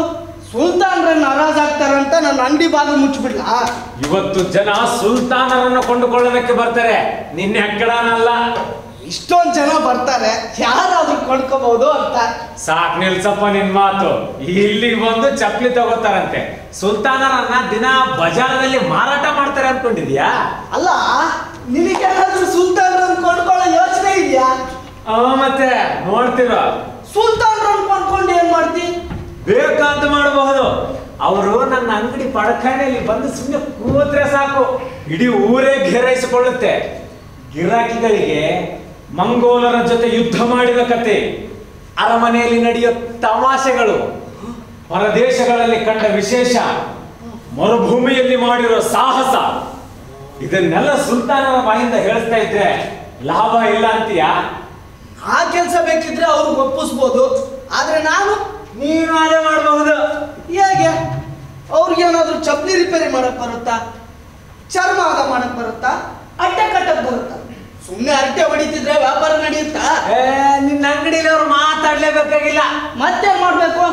ನಾನೇನಾದ್ರೂ ಚಪ್ಪಲಿ ಅಂಗಡಿ ಇಟ್ಟಿದ್ರೆ ಅವ್ರನ್ನ ಹೇಗೆ ಉಪಯೋಗಿಸ್ಕೊಳ್ತಿದ್ದೆ ಗೊತ್ತಾ? ಹೇಗೆ? ಹೇಳು ನೋಡೋಣ. ಬಾಗಿಲಲ್ಲಿ ಒಂದು ಭರ್ಜರಿ ಕುರ್ಚಿ ಮೇಲೆ ಕೂರಿಸ್ತಿದ್ದೆ. ಅವರ ಕಾಲಿಗೆ ಹೊಸ ಚಪ್ಪಲಿಯನ್ನು ತೊಡಿಸಿ ಸುಲ್ತಾನ್ ಛಾಪಾ ಪಾದರಕ್ಷೆಗಳು ಇಲ್ಲಿ ಮಾರಲ್ಪಡುತ್ತವೆ ಹಾಗೂ ರಿಪೇರಿ ಮಾಡಲ್ಪಡುತ್ತವೆ ಅಂತ ದೊಡ್ಡದಾಗಿ ಜಾಹೀರಾತು ಹಾಕ್ಸ್ತಿದ್ದೆ. ಆಗ ಜನ ಅಂಗಡಿಗೆ ಹೇಗೆ ಮುತ್ತಿಗೆ ಹಾಕ್ತಾರೆ ಅಂತ. ಬಲೆ ಬಲೆ ನಾನು ಗೋದೇ ಇರಲಿಲ್ಲ. ಬಾರಿ ಕದಿಮ ನೀನು. ಹಾಗಿದ್ರೆ ನಾವಿಬ್ರು ಜಂಟಿಯಾಗಿ ಯಾಕೆ ಸುಲ್ತಾನರನ್ನ ಖರೀದಿ ಮಾಡಬಾರ್ದು? ಹಗಲೆಲ್ಲ ಅವ್ರನ್ನ ನಿನ್ನ ಹತ್ರ ಬಿಟ್ಟಿರ್ತೀನಿ. ಸಾಯಂಕಾಲ ನೀನ್ ನನಗೆ ವಾಪಸ್ ಮಾಡಬಹುದು.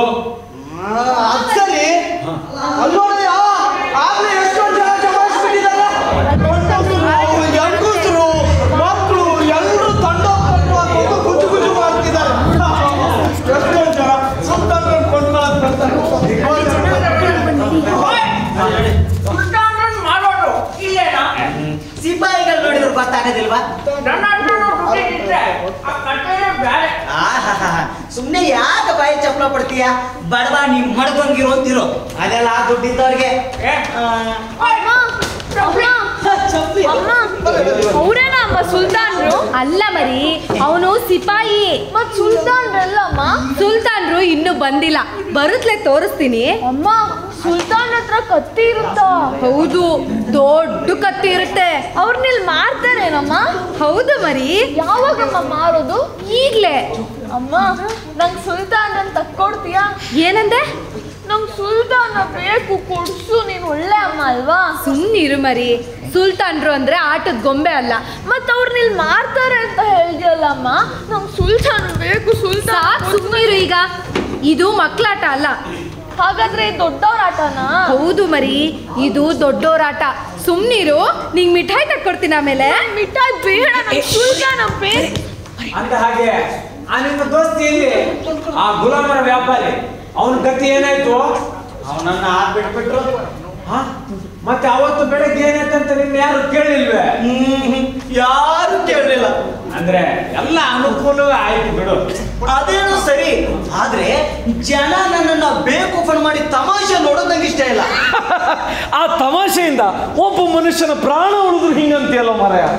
ನಿನ್ನ ನೋಡಿದ್ರೆ ಕುಡಿಸ್ಬೇಕು ಅಂತ ಅನ್ಸುತ್ತೆ. ಯಾವ್ದಕ್ಕೆ ಹೆದರದ ನಮ್ಮ ಮೂವತ್ತಿನ ಹೆಸರು ಹೇಳ್ಕೊಂಡು? ಅಲ್ವಾ? ಅವನಂತ ಸುಳ್ಳು ಹೇಳೋ ಹಲ್ಕನ ನಾನು ಎಲ್ಲೂ ನೋಡಿಲ್ಲ ಏನು? ನಾನು ಸುಳ್ಳು ಹೇಳ್ತೀನ? ಛೇ ಛೇ ಛೇ ಛೇ ಬೇಡ ಬೆಳಿಗ್ಗೆ ಎಂಥ ಮಾತು ಕೇಳ್ಬೇಕಾಯ್ತು? ಹೌದೌದು ಅವತ್ ನಾನು ಮಲಗಿ ನಿದ್ದೆ ಹೊಡಿತಿದ್ದೆ ಅಂತ ಸುಳ್ಳು ಹೇಳಿ ಸಾಧಿಸ್ಬಿಟ್ಟಿಯಲ್ಲ ನಿನ್ನ? ಈಗ ಅದನ್ನೆಲ್ಲ ಕಟ್ಕೊಂಡು ಏನಾಗ್ಬೇಕಪ್ಪ ನಿನಗೆ? ಏನು ತೊಂದರೆ ಇಲ್ಲ ಎಲ್ಲ ಮುಗಿದಿರುವಾಗ? ಅದಕ್ಕೆ ಅದಕ್ಕೆ ಏನು ಪ್ರಯೋಜನ. ನಿನ್ನ ದೋಸ್ತನ್ನ ಬಿಡುಗಡೆ ಮಾಡಿದ್ದಾರೆ ಇನ್ನು ಒಂದು ಪ್ರಶ್ನೆ ಕೇಳಲಿಲ್ಲ. ಅದಕ್ಕೆ ಏನು ಮಾಡಲಿಲ್ಲ. ನಾನು ಯಾರು ಏನು ಕೇಳಿಲ್ಲ ಅಂತೀನಿ. ನಾವೆಲ್ಲ ಮಗ ಇದೀವಪ್ಪ ನನ್ನ ಮಗನೇ ನೀನು ಮುತ್ತು ಅಲ್ಲಿ ನೋಡು ಏ, ಅಲ್ಲೋಡ್ರು, ಸುಲ್ತಾನ್ರು ಬಂದ್ರು. ಅಲ್ಲೋಡು ಬರೀ ಅಲ್ಲಿ ಮುಂದೆ ಬರ್ತಿದಾರಲ್ಲ ಅವರೇ ಸುಲ್ತಾನ್ರು. ಅವರೇನಮ್ಮ? ಎಲ್ಲ ಇವನ? ನೋಡಿದೆ ಅಲ್ಲಿ ಯಾರು ಬರ್ತಿದ್ದಾರೆ ಅಂತ. ನಿನ್ನ ದೋಸ್ತ ಸುಲ್ತಾನ್ ಜೊತೆ ಹಾಗೆ ಬರ್ತಿದ್ದ ನೋಡು. ಹೌದು ಅವನೇ. ವಹಿವಾಟು ಅವನೇ ನಡೆಸ್ತಾನೆ. ಎಷ್ಟಂದ್ರು ಗುಲಾಮರ ವ್ಯಾಪಾರಿ ಅಲ್ವೇ ನೋಡಿದಪ್ಪ ಹಾಗಿದೆ. ಅದೃಷ್ಟ ಅಂದ್ರೆ ನನ್ನ ಮಗಂದ ಹಿಂಗಿರ್ಬೇಕು. ಇನ್ನು ಏನೇನ್ ನೋಡ್ಬೇಕು?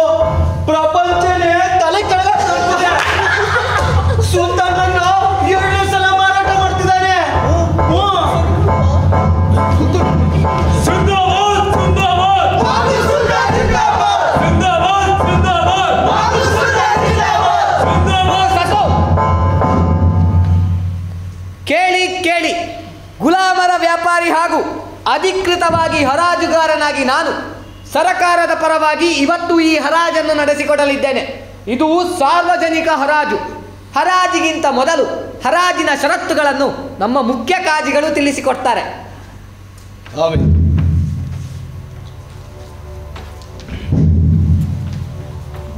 ಪ್ರಜೆಗಳೇ, ಈಗ ನಡೆಯುವ ಮಾರಾಟ ಸಾಮಾನ್ಯವಾದ ಮಾರಾಟವಲ್ಲ. ಇದೊಂದು ವಿಶೇಷವಾದ ಚರಿತ್ರಾರ್ಹ ವ್ಯವಹಾರ. ಮಾರಾಟದ ಜೊತೆಗೆ ಒಂದು ಕರಾರು ಇದೆ. ಅದೇನು ಅಂದ್ರೆ ಬಿಡುಗಡೆಯ ಕರಾರು. ಯಾರು ಜಾಸ್ತಿ ಹಣ ಕೊಟ್ಟು ಕೊಂಡ್ಕೋತಾರೋ ಅವರು ತಾವು ಕೊಂಡ ಪದಾರ್ಥವನ್ನ ತಮ್ಮ ಜೊತೆ ತಗೊಂಡು ಹೋಗೋ ಹಾಗಿಲ್ಲ. ತಕ್ಷಣ ಬಿಟ್ಟು ಕೊಡೋದಿಕ್ಕೆ ಕಬೂಲಿದ್ರೆ ಮಾತ್ರ ಈ ಹರಾಜಿನಲ್ಲಿ ಭಾಗವಹಿಸಬಹುದು. ಸರ್ಕಾರಿ ನೌಕರರು ಭಾಗವಹಿಸೋದು ಕಾನೂನಿಗೆ ವಿರುದ್ಧ ಅಂತ ನಾನು ಅಲಾಯ್ದ ಹೇಳಬೇಕಾಗಿಲ್ಲ. ಇಷ್ಟು ಹೇಳಿ ಈ ಹರಾಜಿನಲ್ಲಿ ಭಾಗವಹಿಸುವ ಪ್ರಜೆಗಳಿಗೆ ತಮ್ಮ ದೇಶ ಪ್ರೇಮ ತೋರಿಸಲು ಎಂಥ ಸುವರ್ಣಾವಕಾಶ ಇದು ಅನ್ನೋದರ ಬಗ್ಗೆ ವಜೀರ್ ಎರಡು ಮಾತು ಹೇಳಬೇಕು ಅಂತ ಕೇಳ್ಕೊತೀನಿ? ಹಣ ಸುರಿದು ಕೊಂಡ್ಕೊಂಡು ಅವರು ಸುಲ್ತಾನ್ರನ್ನ ಕರ್ಕೊಂಡು ಹೋಗಂಗಿಲ್ಲ ಹಣ ಗಿಡದಲ್ಲಿ ಬಿಡುತ್ತಾ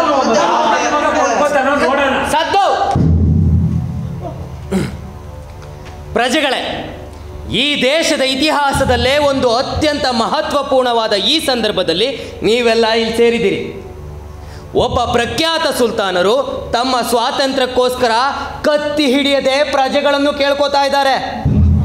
ಕತ್ತಿಯ ಉಪಯೋಗದಿಂದಲೇ ನಮ್ಮ ಶತ್ರುಗಳನ್ನು ಸದೆಬೆಳೆದು ನಮ್ಮ ದೇಶನ ಬಿಡುಗಡೆ ಮಾಡಿ ನಮಗೆಲ್ಲ ಸ್ವಾತಂತ್ರ್ಯ ತಂದು ಕೊಟ್ಟಿದ್ದಾರೆ. ಅದೇ ರೀತಿ ತಮ್ಮ ಸ್ವಂತ ಸ್ವಾತಂತ್ರ್ಯನೂ ಪಡಿಬೋದಾಗಿತ್ತು.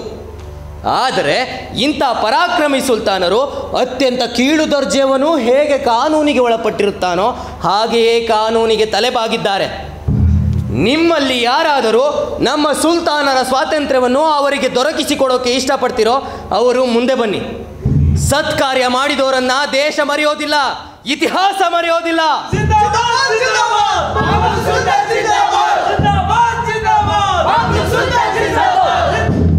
ದೇಶ ಬಾಂಧವರೇ, ಒಂದು ಉದಾತ್ತವಾದ ಧ್ಯೇಯಕ್ಕಾಗಿ, ಮಾತೃಭೂಮಿಯ ಸಲುವಾಗಿ ನೀವೆಲ್ಲ ಮಾಡಬೇಕಾಗಿರುವ ಒಂದು ತ್ಯಾಗದ ವಿಷಯ ನಿಮಗೆಲ್ಲ ಗೊತ್ತು. ಅದೇನು ಅಂದರೆ, ನಮ್ಮ ಸುಲ್ತಾನರ ಬಿಡುಗಡೆ. ತಾವು ಕೊಡೋ ಹಣ ಸರಕಾರಿ ಖಜಾನೆಗೆ ಸೇರಿ ಬಡಬಗ್ಗರ ಉದ್ಧಾರಕ್ಕೆ ಖರ್ಚಾಗುತ್ತದೆ. ನಾವೆಲ್ಲರೂ ನಮ್ಮ ಸುಲ್ತಾನರನ್ನು ಅತ್ಯಂತ ಗೌರವಿಸುತ್ತೇವೆ, ಪ್ರೀತಿಸುತ್ತೇವೆ. ಅವರನ್ನು ಬಿಡುಗಡೆ ಮಾಡುವುದಕ್ಕಾಗಿ ನೀವು ತೋರಿಸುವ ಹುಮ್ಮಸ್ಸು, ಪೈಪೋಟಿ ಪ್ರೀತಿ ವಿಶ್ವಾಸವನ್ನು ನೋಡುವುದಕ್ಕಾಗಿ ನಮ್ಮ ಸುಲ್ತಾನರು ಕಾದು ಕೂತಿದ್ದಾರೆ. ಈಗ ಹರಾಜು ಪ್ರಾರಂಭವಾಗಲಿದೆ.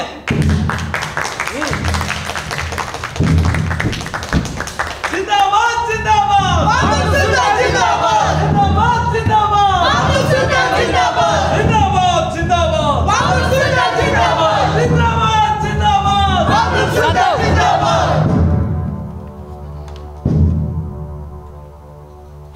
ಪ್ರಾರಂಭವಾಗಿದೆ. ಸಾಮಾನ್ಯವಾಗಿ ಎಲ್ಲ ಹರಾಜಿನಲ್ಲಿ ಮಾಡೋ ಹಾಗೆ ಮಾರಾಟಕ್ಕಿಟ್ಟ ಪದಾರ್ಥದ ಗುಣಗಾನ ಮಾಡೋದಿಲ್ಲ ಈಗ. ಯಾಕಂದ್ರೆ ನಾವು ಮಾರಾಟಕ್ಕಿಟ್ಟಿರೋ ವಸ್ತು ವರ್ಣನೆಗೆ ಮೀರಿದ್ದು ನಮ್ಮ ಸುಲ್ತಾನರ ಬೆಲೆ ಅವರ ತೂಕದಷ್ಟು ಚಿನ್ನ. ಅದಕ್ಕಿಂತ ಹೆಚ್ಚು ಅಂದ್ರೂ ಉತ್ಪ್ರೇಕ್ಷೆ ಅಲ್ಲ. ತಾವು ಯಾರು ಹಿಂಜರಿಯಬೇಕಾಗಿಲ್ಲ. ತಮಗೆಲ್ಲ ಅನುಕೂಲವಾಗೋ ಹಾಗೆ ಹರಾಜು ನಡೆಸೋದು ನನ್ನ ಉದ್ದೇಶ. ಈಗ ಒಂದು ಜುಜುಬಿ ರಕಮ್ನಿಂದ ಹರಾಜು ಪ್ರಾರಂಭ ಮಾಡ್ತೇನೆ. ಸರ್ಕಾರಿ ಸವಾಲ್ ಹತ್ತು ಸಾವಿರ ದಿನಾರ್. ಅಷ್ಟೇ ನಿಜವಾಗ್ಲೂ ಜುಜುಬಿ. ಅವ್ರ ಕೊರಳಿರೋ ಆ ಮಾಣಿಕ್ಯ ಸರ ನೋಡು. ಏನಿಲ್ಲ ಅಂದ್ರೂ ಅದ್ರ ಬೆಲೆನೇ ಒಂದು ಲಕ್ಷ ಆಗ್ಬೋದು. ಬಿಲ್ಕುಲ್ ಜುಜುಬಿ ರಕಮ್ಮ ಅದು ದೇಶ ಪ್ರೇಮದ ಸವಾಲಿರುವಾಗ ಹತ್ತು ಸಾವಿರ. ನಾಚಿಕೆಗೇಡು ನನಗೆ ಅವಮಾನ. ಹನ್ನೊಂದು ಸಾವಿರ ದಿನ ಹನ್ನೊಂದು ಸಾವಿರ ದಿನಾರ್ ಹನ್ನೊಂದು ಸಾವಿರ ದಿನಾರ್. ಅಷ್ಟೇ ಬಂಡವಾಳ ಹನ್ನೆರಡು ಸಾವಿರ ದಿನ ಹನ್ನೆರಡು ಸಾವಿರ ದಿನಾರ್. ಅಂದ್ಮೇಲೆ ಪೈಪೋಟಿ ಮಾಡ್ತೀಯಾ? ಹದಿಮೂರು ಸಾವಿರ ದಿನ ಹದಿಮೂರು ಸಾವಿರ ದಿನಾರ್. ಹದಿಮೂರು ಸಾವಿರ ದಿನ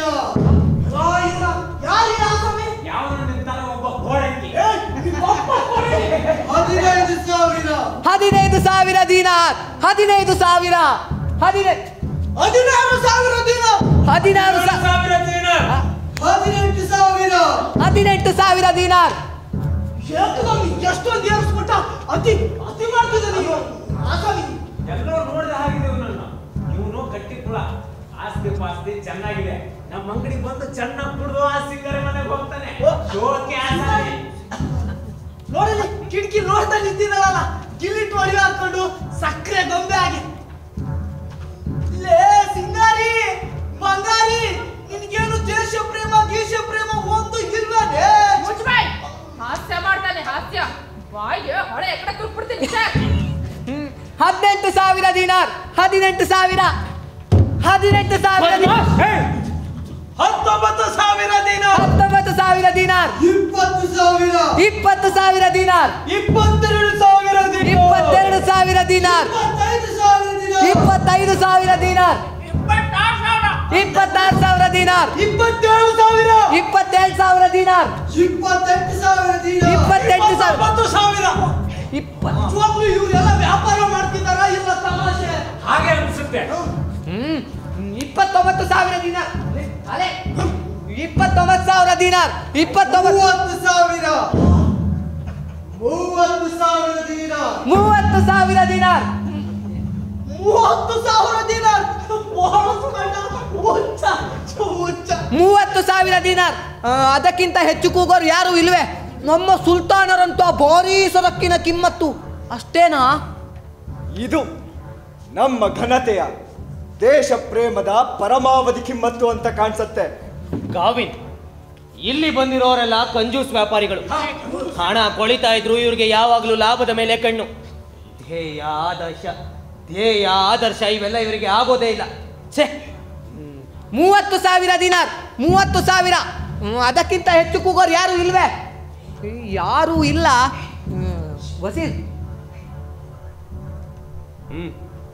ಮೂವತ್ತು ಸಾವಿರ ದಿನಾರ್ ಮೂವತ್ತು ಸಾವಿರ ದಿನಾರ್ ಒಂದ್ ಸಾರಿ. ಮೂವತ್ತು ಸಾವಿರ ದಿನಾರ್ ಎರಡ್ ಸಾರಿ. ಮೂವತ್ತು ಸಾವಿರ ದಿನಾರ್ ಮೂರ್ ಸಾರಿ. ಮೂವತ್ತು ಸಾವಿರಕ್ಕೆ ಹರಾಜ್ ಮುಗೀತು ಅವನು ನನ್ನ ಗಿರಾಕಿ ನನ್ನ ಅಂಗಡಿಗೆ ಆಗಾಗ ಬರ್ತಾ ಇರ್ತೇನೆ? ಗೆದ್ದವರು ಮುಂದೆ ಬರಬೇಕು.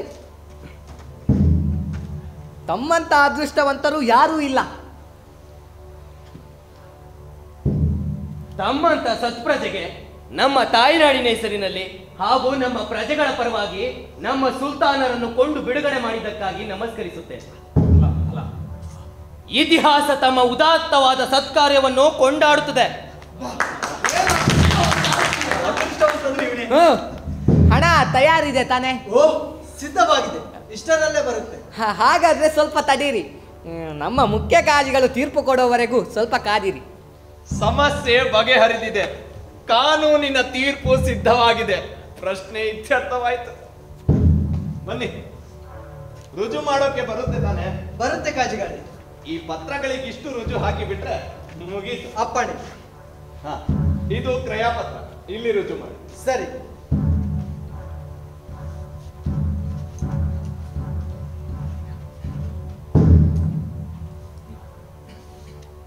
ಇದಕ್ಕೂ ಒಂದು ರುಜು ಮಾಡಿದ್ರಿ. ಇದೇನು? ಮತ್ತಿದೆಂತಹ ಪತ್ರ?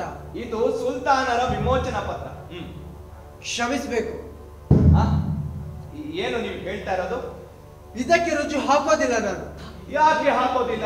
ಏನು ನಿಮ್ಮ ಮಾತಿನ ಅರ್ಥ? ಇದಕ್ಕೆ ರುಜು ಹಾಕುವ ಅಧಿಕಾರ ನನಗಿಲ್ಲ. ವಿಮೋಚನ ಪತ್ರಕ್ಕೆ ರುಜು ಹಾಕೋದಕ್ಕೆ ನಿಮ್ಗೆ ಅಧಿಕಾರ ಇದೆ? ಇಲ್ಲ. ಅಧಿಕಾರನೂ ಇಲ್ಲ. ಅಪ್ಪಣೆನೂ ಇಲ್ಲ. ಯಾರಿಂದ ಅಪ್ಪಣೆ ಬರಬೇಕು? ಯಾರ ಪರವಾಗಿ ಹರಾಜಿನಲ್ಲಿ ಭಾಗವಹಿಸಿದ್ದೇನೋ ಅವರಿಂದ. ಹಾಗಾದ್ರೆ ನೀವು ಬೇರೆಯವರ ಪರವಾಗಿ? ಹೌದು ಕಾಜಿಗಳೇ. ಯಾರವರು ಅದನ್ನು ಮಾತ್ರ ಹೇಳಲಾರೆ. ಕ್ಷಮಿಸಿ. ಇದರಲ್ಲೇನೋ ದುರುದ್ದೇಶ ಸ್ಪಷ್ಟವಾಗಿದೆ. ಅನುಮಾನನೇ ಇಲ್ಲ. ಯಾಕೋ ವ್ಯವಹಾರದಲ್ಲಿ ಸ್ವಲ್ಪ ಗೊಂದಲವಾಗಿರೋ ಹಾಗಿದ್ಯಲ್ಲ ಕಾಜಿಗಳೇ? ಎಲ್ಲ ಸ್ವಲ್ಪ ಅಷ್ಟೇ ಕಾವೇನ್. ಎಲ್ಲ ಸರಿ ಮಾಡ್ಬಿಡ್ತೀವಿ. ನೋಡ್ತಾ ಇರಿ. ಮೂಗು ಹಿಡ್ಕೊಂಡ್ರೆ ಬಾಯಿ ಬಿಟ್ಟೇ ಬಿಡ್ತಾನೆ ಕಾವೇನ್. ಸಿಪಾಯಿಗಳೇ! ಬೇಡಿ ಬೇಡಿ ಬೇಡಿ. ನಿಮ್ಮ ಕಾಲಿಗೆ ಬೀಳ್ತೀರಿ. ಹಾಗಾದ್ರೆ ಹೆಸರು ಹೇಳು. ಹೇಳೋದಿಲ್ಲ ಅಂತ ಆಣೆ ಮಾಡಿದ್ದೀನಿ. ಬದ್ಮಾಶ್ ಎಲ್ಲಿ? ಬೇಡಿ ಬೇಡಿ. ಯಾ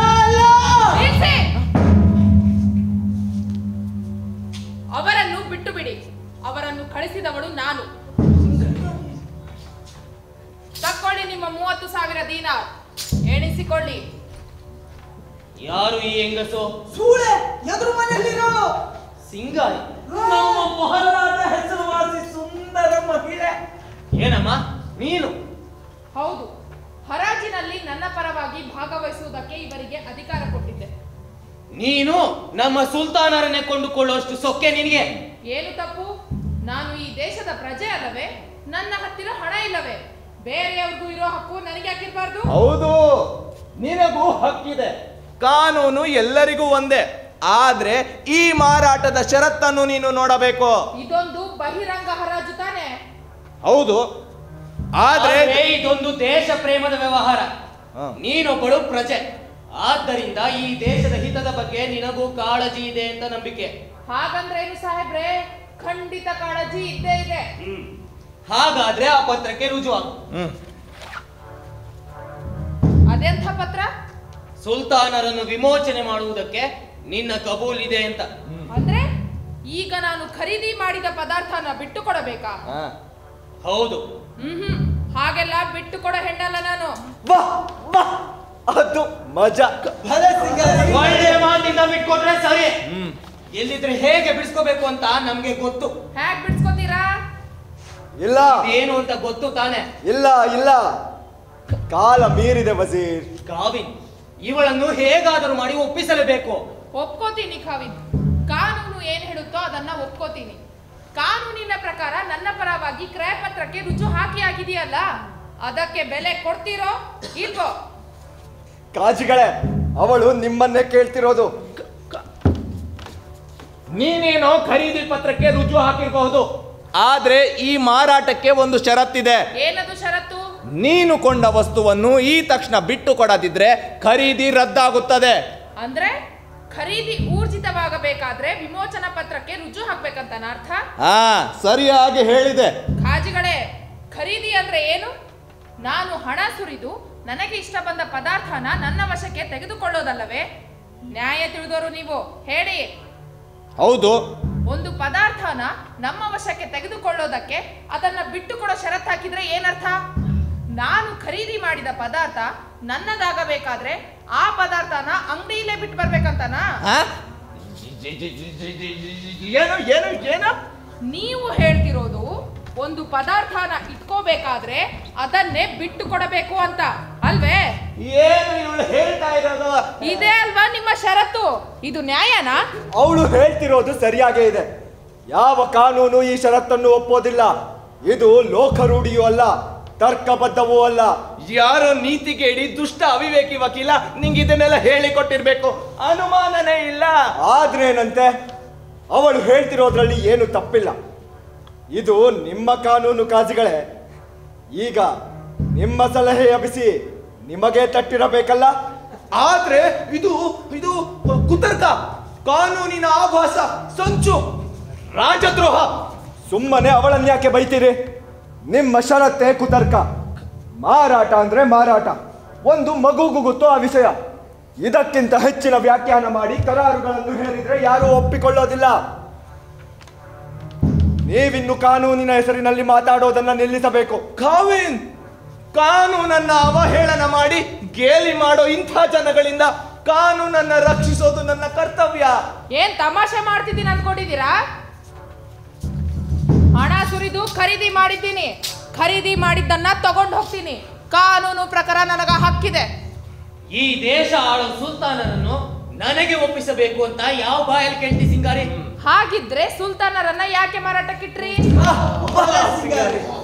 ಕಾಜಿಗಳೇ ಕೇಳಿಸ್ಕೊತಾ ಇದ್ದೀರಾ? ಇಂಥ ಹೆಂಗಸಿನ ಜೊತೆ ವಾದ ಮಾಡಿ ಏನು ಪ್ರಯೋಜನ?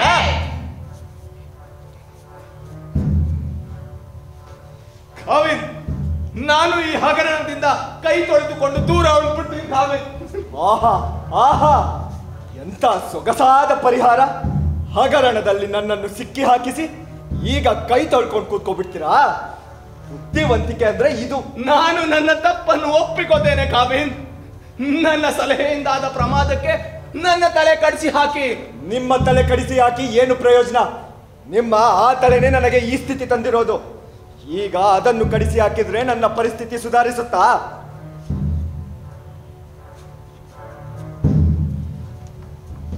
ಕಾಜಿಗಳೇ ಕಾವಿನ್ ಪರಿಸ್ಥಿತಿನ ಹೇಗೆ ಹತೋಟಿಗೆ ತರಬೇಕು ಅಂತ ನನಗೆ ಗೊತ್ತು. ತಾವು ಅಪ್ಪಣೆ ಕೊಟ್ರೆ. ಕೂಡದು ಕೂಡದು ವಸೀರ್. ಕಾವಿನ್ ಒಂದು ಕ್ಷಣ ನನ್ನ ಮಾತನ್ನು ಕೇಳಬೇಕು. ಇಲ್ಲೇ ಇದ್ದಾರೆ ನಮ್ಮ ಪ್ರಜೆಗಳು. ತಾವು ಅಪ್ಪಣೆ ಕೊಟ್ರೆ ಅವರ ಅಭಿಪ್ರಾಯ ಏನು ಅವರ ತೀರ್ಪು ಏನು ಅಂತ ಕೇಳ್ತೀನಿ. ಕೇಳಿ ನೋಡೋಣ. ಪ್ರಜೆಗಳೇ ಈ ಕಿತಾಪತಿ ಹೆಂಗಸು ನಮ್ಮ ಸುಲ್ತಾನರನ್ನು ಹೇಗೆ ಅವಮಾನ ಮಾಡಿದ್ದಾಳೆ ಅಂತ ನೀವೆಲ್ಲ ಕಣ್ಣಾರೆ ನೋಡಿದ್ದೀರಿ ಕಿವಿಯಾರೆ ಕೇಳಿದ್ದೀರಿ. ಅವಳ ಮಾತಿಗೆ ಒಪ್ತೀರಾ? ಹೇಳಿ. ನಮ್ಮ ಸುಲ್ತಾನನನ್ನು ಕಾಲಕಸವಾಗಿ ನಡೆಸಿಕೊಂಡದನ್ನು ಕಂಡು ತಮಗೆಲ್ಲ ಸಂತೋಷವಾಯ್ತೆ? ಇಲ್ಲ ಇಲ್ಲ. ಇವಳಿಗೆ ಏನು ಸಜೆ ಆಗ್ಬೇಕು ಅಂತ ನಿಮ್ಮ ಅಭಿಪ್ರಾಯ? ಅವಳನ್ನ ಕತ್ತರಿಸಾಕ್ಬೇಕು ನೋಡಿದ್ರ ಕಾವಿಂದ್ ಜನ ತಮ್ಮ ತೀರ್ಪನ್ನು ಕೊಟ್ಟಿದ್ದಾರೆ. ನನಗೆ ಮರಣದಂಡನೆ? ನೀವು ನನ್ನನ್ನ ಮರಣದಂಡನೆಗೆ ಗುರಿ ಮಾಡ್ತೀರಾ? ನಾನು ಯಾವ ಅಪರಾಧ ಮಾಡಿದ್ದೀನಿ? ಒಂದು ಪದಾರ್ಥನ ಕೊಂಡುಕೊಳ್ಳೋದು ಅಪರಾಧವೇ. ಅದರಿಂದ ಯಾರಿಗಾದ್ರೂ ಅವಮಾನ ಮಾಡಿದ ಹಾಗೆ ಆಗುತ್ತಾ? ನಾನು ಯಾರಿಗಾದ್ರೂ ಒಡವೆ ಕದ್ದಿದ್ದೀನ ಮಾರಾಟಕ್ಕಿಟ್ಟ ಪದಾರ್ಥನ ಎಗುರ್ಸ್ಕೊಂಡು ಹೋಗಿದ್ದೀನ? ನಿಮ್ಮ ಕಣ್ಣೆದುರಲ್ಲೇ ನನ್ನ ಸ್ವಂತ ಹಣದಿಂದ ಸಾರ್ವಜನಿಕ ಹರಾಜಿನಲ್ಲಿ ಕೊಂಡುಕೊಂಡಿದ್ದೀನಿ.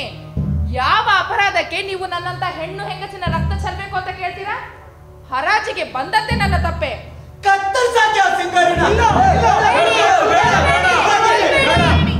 ನೋಡಿದ್ಯಾ ವಸೀರ್ ಬಾಂಧವರೇ ಇವಳ ವಿರುದ್ಧ ತೀರ್ಪನ್ನು ಜಾರಿ ಮಾಡಬೇಕು ಅಂತೀರಾ ಜನಗಳಲ್ಲಿ ಅಭಿಪ್ರಾಯ ಭೇದವಿದೆ ವಜೀರ್ ಆದರೆ ಮರಣದಂಡನೆಗೆ ಬಹುಮತವಿದೆ ಕಾವಿನ್ ಒಬ್ಬ ಹೆಂಗಸನ್ನು ಕೊಲ್ಲೋದಕ್ಕೆ ಅದು ಸಾಕಷ್ಟು ಸಮರ್ಥನೆ ಅಲ್ಲ ವಜೀರ್ ನಮ್ಮನ್ನು ಇಕ್ಕಟ್ಟಿನಿಂದ ಪಾರು ಮಾಡುವುದಕ್ಕೆ ಈ ಹೆಂಗಸಿನ ಸಾವು ಅವಶ್ಯಕ ಕಾವಿನ್.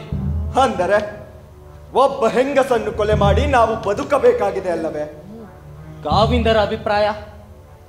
ನಾನು ಇಟ್ಟ ಹೆಜ್ಜೆಯನ್ನು ಹಿಂದೆ ಇಡುವುದಿಲ್ಲ. ಅರ್ಥವಾಯ್ತೆ? ಕಾಜಿಗಳು ಆಗಲೇ ಸೋಲೊಪ್ಪಿಕೊಂಡು ಕೈ ಕಟ್ಟಿಕೊಂಡು ಕೂತಿರುವಾಗ ನಾವು ಹೇಗೆ ಕಾನೂನನ್ನು ನಂಬಿಕೊಂಡಿರೋದು? ಆ ಚಿಂತೆ ನನಗಿರಲಿ. ನೀನು ಮುಂದೆ ಬಾ.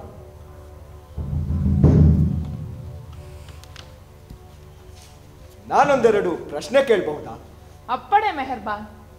ಮೊದಲನೇ ಪ್ರಶ್ನೆ ಸುಲ್ತಾನ ಅಂದ್ರೆ ಯಾರು? ತಾವು ಸುಲ್ತಾನರಲ್ಲವೇ? ನಾನು ಸುಲ್ತಾನ ಅಂತ ಒಪ್ಕೋತೀಯ ತಾನೆ? ಖಂಡಿತ. ಒಳ್ಳೆ. ಸುಲ್ತಾನನ ಕೆಲಸ ಏನು? ದೇಶ ಆಳೋದು. ಸುಲ್ತಾನ ದೇಶ ಆಳೋದು ಅಂತ ಒಪ್ಕೊಂಡ್ಯಾ?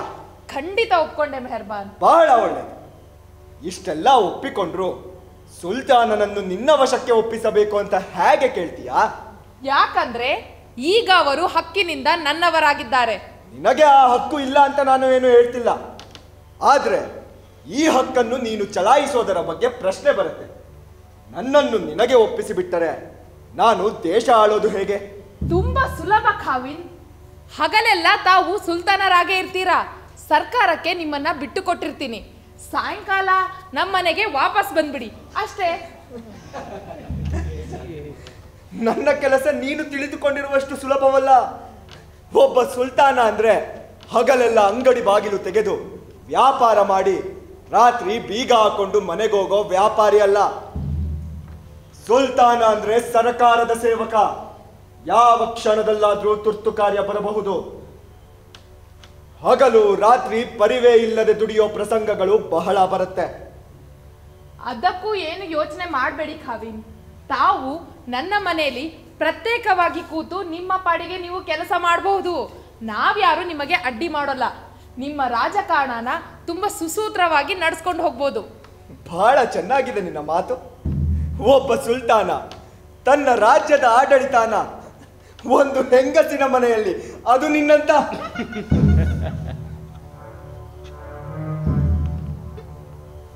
ಕ್ಷಮಿಸು. ಏನೋ ಹೇಳಿಬಿಟ್ಟೆ. ತಪ್ಪು ತಿಳ್ಕೋಬೇಡ. ಹೇಳಿ ಕಾವಿ ಹೇಳಿ. ಆ ಮಾತು ಕೇಳೋದ್ರಿಂದ ನನಗೇನು ನೋವಾಗೋದಿಲ್ಲ ಅವಮಾನವೂ ಆಗೋದಿಲ್ಲ. ಕೇಳಿ ಕೇಳಿ ಜಡ್ಡುಗಟ್ಟಿ ಹೋಗಿವೆ ಕಿವಿ ಆದರೂ ಒಂದು ಮಾತು ನಿಜ ತಮ್ಮ ಅರಮನೆಗಿಂತ ನನ್ನ ಮನೆಯಲ್ಲಿ ತಾವು ತುಂಬ ಸುಖದಿಂದ ಸಂತೋಷದಿಂದ ಇರ್ತೀರಿ ಅಂತ ಭರವಸೆ ಕೊಡ್ತೀನಿ. ಆದ್ರೆ ಅರಮನೆಯಲ್ಲಿದ್ರೆ ಎಲ್ಲ ಹತೋಟಿಯಲ್ಲಿರುತ್ತೆ ಸುಸೂತ್ರವಾಗಿ ನಡ್ಕೊಂಡು ಹೋಗುತ್ತೆ. ಒಪ್ತೀಯಾ? ಅದೇನೋ ಒಪ್ತೀನಿ ಆದ್ರೆ ಸುಲ್ತಾನರು ಸ್ವತಂತ್ರರಾಗಿದ್ರೆ ಮಾತ್ರ ಅದು ಸಾಧ್ಯ ಅಲ್ವೇ? ಬಾ ನೀನು ಗೆದ್ದೆ. ಈಗ ನಾನು ಸ್ವತಂತ್ರನಲ್ಲ ಒಪ್ಪಿದೆ.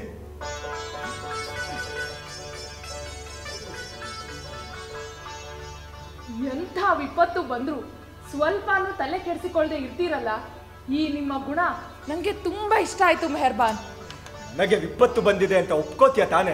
ಅದು ಸ್ಪಷ್ಟವಾಗೇ ಇದೆ. ತಮ್ಮಂತ ಮಹಾ ಸುಲ್ತಾನರನ್ನು ಇಷ್ಟು ಹೀನಾಯವಾಗಿ ನಡ್ಸ್ಕೊಳ್ತಿರೋದನ್ನ ನೋಡಿದ್ರೆ ಎಂತ ದಡ್ಡನಿಗೂ ಅರ್ಥವಾಗುತ್ತೆ? ಸಾಕು. ಮುಚ್ಚು ಬಾಯ್. ಎಲ್ಲದಕ್ಕೂ ಮಿತಿ ಇರುತ್ತೆ. ಇನ್ನು ತಡೆಯೋದಕ್ಕಾಗೋದಿಲ್ಲ. ಸಮಾಧಾನ ಸಮಾಧಾನ ವಜೀರ್. ಹೌದು ವಜೀರ್ ಸಾಹೇಬ್ರೆ. ಸ್ವಲ್ಪ ಸಮಾಧಾನ ಮಾಡ್ಕೊಳ್ಳಿ. ಸುಲ್ತಾನರ ಜೊತೆ ಮಾತಾಡೋದಕ್ಕೆ ನಂಗೆ ಸ್ವಲ್ಪ ಅವಕಾಶ ಮಾಡಿಕೊಟ್ರೆ ತುಂಬಾ ಉಪಕಾರವಾಗುತ್ತೆ. ಮತ್ತೆ ಬಾಯ್ ಹಾಕ್ಬೇಡಿ. ದಯವಿಟ್ಟು. ನಾವೇನ್ ಮಾತಾಡ್ತಿದ್ವಿ? ಹಾ ತಮ್ಮ ಜೊತೆ ಇಷ್ಟು ಹಾಯಾಗಿ ಮಾತಾಡೋದಕ್ಕೆ ನನಗೆ ಅವಕಾಶ ಸಿಕ್ಕಿದ್ದೇ ನನ್ನ ಅದೃಷ್ಟ.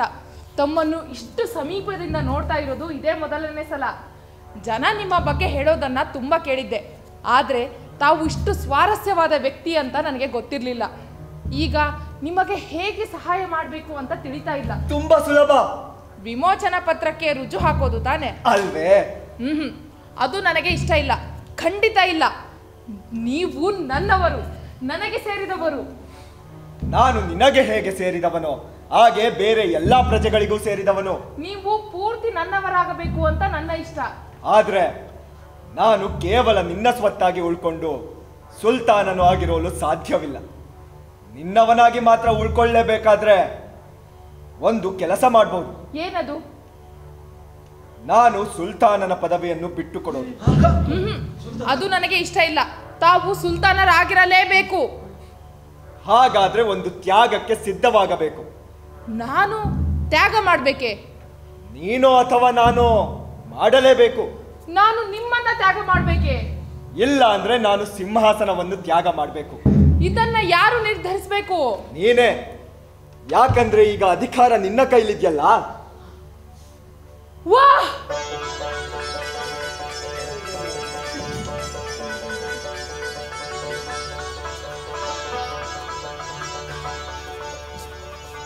ಇದು ನಿಜವಾಗ್ಲೂ ಅದ್ಭುತವಾಗಿದೆ. ನನ್ನ ಒಂದು ಮಾತಿನಿಂದ ನಿಮ್ಮ ಹಣೆ ಬರಹ ಬದಲಾಗಿ ಗುಲಾಮಗಿರಿಯ ಜೀತದಾಳಾಗಬಹುದು ಅಥವಾ ಸ್ವತಂತ್ರ ಸಾರ್ವಭೌಮರಾಗಬಹುದು. ಹೌದು.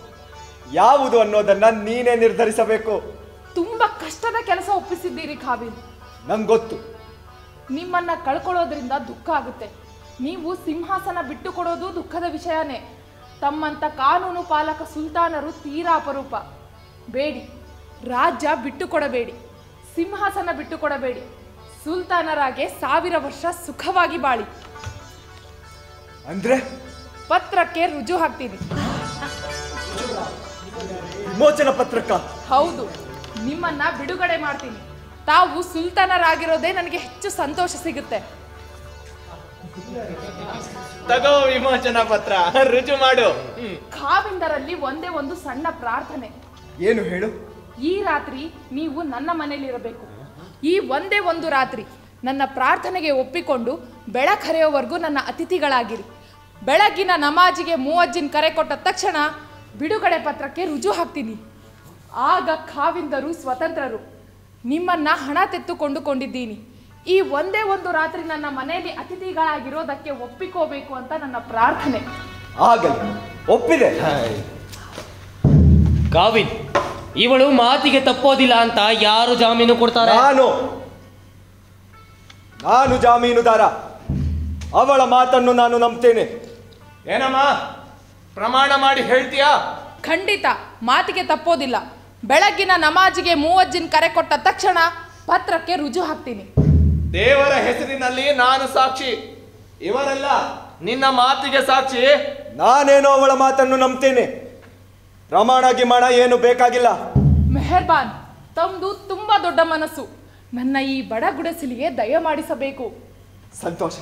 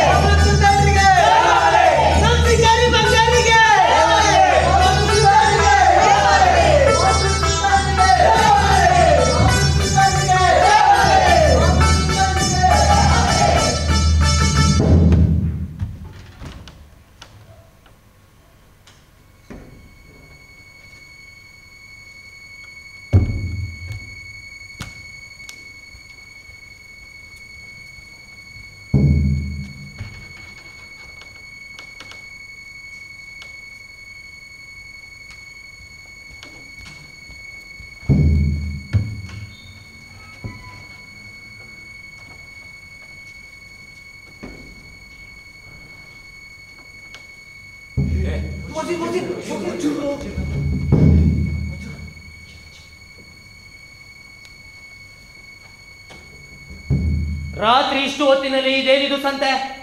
ಎಲ್ಲರನ್ನು ಓಡಿಸಿ. ಎಲ್ಲ ಮನೆಗೆ ಹೋಗಿ ಮಲ್ಕೊಳ್ಳಿ ಇಲ್ಲ ಕೋತಿ ಕುಡಿತಾ ಇಲ್ಲ. ಹ್ಮ್.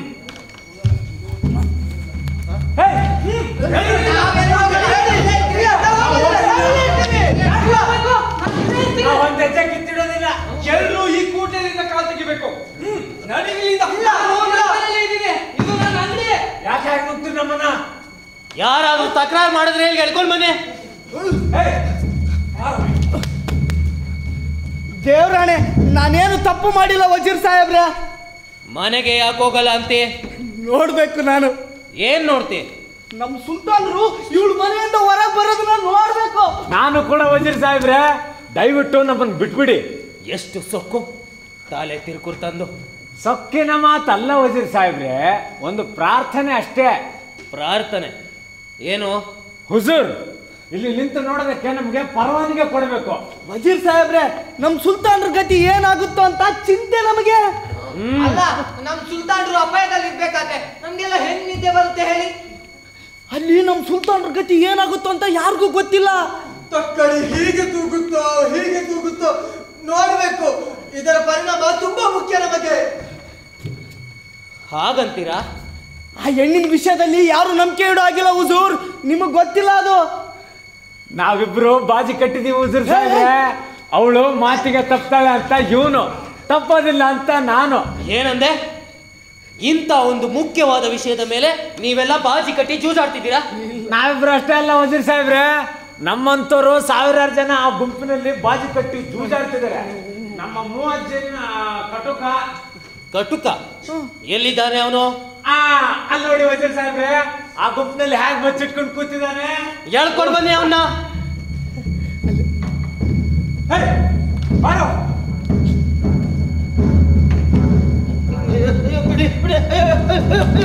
ಅಯ್ಯೋ ನಂದೇನು ತಪ್ಪಿಲ್ಲ ವಜೀರ್ ಸಾಹೇಬ್ರೆ. ಎಲ್ಲ ಮೋಜಿಂದೆ ತಪ್ಪು. ನೀನೆ ಬೆಳಗಿನ ನಮಾಜ್ಗೆ ಕರೆ ಕೊಡಲೇ ಇಲ್ಲ.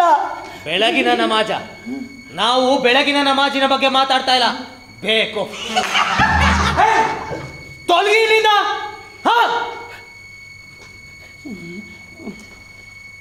ಈಗ ಹೇಳು ಎಷ್ಟು ಹಣ ಬಾಜಿ ಕಟ್ಟಿದ್ದೀಯಾ? ಬಾಜಿ ಯಾರು ಚಾಡಿ ಹೇಳಿದ್ರು ಹುಜೂರ್? ನನ್ನ ಪ್ರಶ್ನೆಗೆ ನೇರವಾಗಿ ಉತ್ತರ ಕೊಡು. ಹುಜೂರ್ ಅದು ಬಾಜಿ ನಾನು. ಹೆದರ್ಬೇಡ ಹೇಳು. ಹುಜೂರ್ ಅದು ನನಗೆ ಗೊತ್ತು. ನಿನಗೆ ಯಾವ ಶಿಕ್ಷೆನೂ ಕೊಡೋದಿಲ್ಲ. ಹೇಳು ಈಕೆ ಅವಳ ಮಾತನ್ನು ಉಳಿಸ್ಕೋತಾಳೋ ತಪ್ತಾಳೋ? ನಿಜ ಹೇಳಬೇಕಂದ್ರೆ ಈ ಬಜಾರಿ ಮೇಲೆ ನನಗೆ ನಂಬಿಕೆ ಇಲ್ಲ ಹುಜೂರ್. ಅವಳು ಮೋಸ ಮಾಡ್ತಾಳೆ. ಹ್ಮ್. ನಮ್ಮ ಸುಲ್ತಾನರಿಗೂ ಮೋಸ ಮಾಡಿ ಸುಳ್ಳು ಹೇಳಿದ್ರೆ ಅವಳಿಗೆ ಏನು ಶಿಕ್ಷೆ ಕೊಡ್ಬೋದು ಅಂತ ನಿನ್ನ ಅಭಿಪ್ರಾಯ? ಮರಣದಂಡನೆ ಮತ್ತೇನು ಹುಜೂರ್? ಸರಿ. ಹಾಗಿದ್ರೆ ನಾಳೆ ಬೆಳಿಗ್ಗೆ ಅವಳ ತಲೆ ಕಡಿಯಲು ಸಿದ್ಧವಾಗಿರು. ಮೂವಜ್ಜಿಂದನಿ ಕೇಳಿದ ಕೂಡಲೇ. ಮತ್ತೆ ಬೆಳಿಗ್ಗೆ ಮತ್ತೆ ತಲೆ ಕಡಿಬೇಕು ಅಯ್ಯಯ್ಯೋ. ಏನದು ಗೊಣಗಾಟ? ಏನಿಲ್ಲ ಹುಜೂರ್ ತಮ್ಮ ಹುಕುಂ ಪ್ರಕಾರ ಅವಳು ತಲೆ ಕಡಿಯೋದಕ್ಕೆ ಸಿದ್ಧತೆ ಮಾಡ್ಕೋತಾ ಇದ್ದೀನಿ. ಹ್ಮ್. ಮೂವಜ್ಜಿಂದನಿ ಕೇಳಿಸಿದರು ನಮ್ಮ ಸುಲ್ತಾನರು ಆ ಮನೆಯಿಂದ ಹೊರಬರದಿದ್ರೆ ನಾನು ಅವಳ ತಲೆಯನ್ನ ಕಡಿಬೇಕು. ಹ್ಮ್. ಅವಳ ಅಪರಾಧಕ್ಕೆ ತಕ್ಕ ಶಿಕ್ಷೆ. ಸುಳ್ಳು ಹೇಳಿ ಮೋಸ ಮಾಡಿದ್ದಕ್ಕೆ. ಹ್ಮ್. ಅಲ್ವೇ? ಮತ್ತೇನು ಹುಜೂರ್? ಅಷ್ಟೇ ಸಾಕಾಗೋದಿಲ್ಲ. ಇನ್ನೂ ಏನಾದರೂ ಅಪರಾಧ ಕಂಡುಹಿಡಿಬೇಕು. ಅವಳು ದೊಡ್ಡ ಪಂಡಿತರ ಹಾಗೆ ಕಾನೂನು ಮಾತಾಡ್ತಾಳೆ. ಅವಳು ಸಮರ್ಥಿಸಿಕೊಳ್ಳಲಾಗದಂತಹ ದೊಡ್ಡ ತಪ್ಪು ಮಾಡಿದ್ದಾಳೆ ಅಂತ ಹೇಳಿ ಜನ ಎಲ್ಲ ಅವಳ ಮುಖಕ್ಕೆ ಉಗುಳೋ ಹಾಗೆ ಮಾಡಿದ್ರೆ ಆಗ ಮರಣದಂಡನೆ ಕೊಡ್ಬೋದು. ಬೇಕಾದ್ರೆ ಹಾ ಅವಳು ಗೂಢಾಚಾರಿಣಿ ಅಂತ ಹೇಳ್ಬೋದು. ಅವಳು ಗೂಢಾಚಾರಿಣಿನಾ? ಹಾ ಮಂಗೋಲರ ಗೂಢಾಚಾರಿಣಿ. ಈ ವಿಷಯ ಏನಾದರೂ ಜನರ ಕಿವಿಗೆ ಬಿದ್ದರೆ ಒಂದೇ ಉಸಿರಿನಲ್ಲಿ ಅವಳಿಗೆ ಮರಣದಂಡನೆ ಆಗಬೇಕು ಅಂತ ಕೂಗು ಹೇಳುತ್ತೆ. ಹೌದು. ಹಂಗೆ ಆಗ್ಬೇಕಾ ರಂಡೆಗೆ? ನಾನೇ ಕೂಗಿ ಹೇಳ್ತೀನಿ. ದೇಶದ್ರೋಹಿಗೆ ಮರಣ ದಂಡನೆಯಾಗಲೇ. ನೀನೊಬ್ಬನೇ ಕೂಗಿದ್ರೆ ಸಾಕಾಗೋದಿಲ್ಲ. ಜನ ಎಲ್ಲ ಕೂಗ್ಬೇಕು. ಹತ್ತು ಜನರ ಕಿವಿಲಿ ಈ ವಿಷಯ ಹಾಕ್ಬೇಕು ಊರ್ ತುಂಬ ಸುದ್ದಿ ಹಾಡೋ ಹಾಗೆ ವಿಷಯ ಮಾಡು ವಿಷಯ ಮುಟ್ಟಿಸೋದು ನಿನ್ನ ಕೆಲಸ. ಅದೇನ್ ದೊಡ್ಡ ಮಾತು? ಬಿಡಿ ಹುಜೂರ್. ಚಿಟ್ಕೆ ಹೊಡೆಯೋದ್ರೊಳಗೆ ಎಲ್ಲ ಮಾಡಿ ಮುಗಿಸ್ತೀನಿ. ಹಾ ಕಿಟ್ಕಿಲಿ ಬೆಳಕು ಕಾಣಿಸ್ತಾ ಇದೆ. ಎಲ್ಲ ಮರೆಯಾಗಿ. ಹ್ಮ್.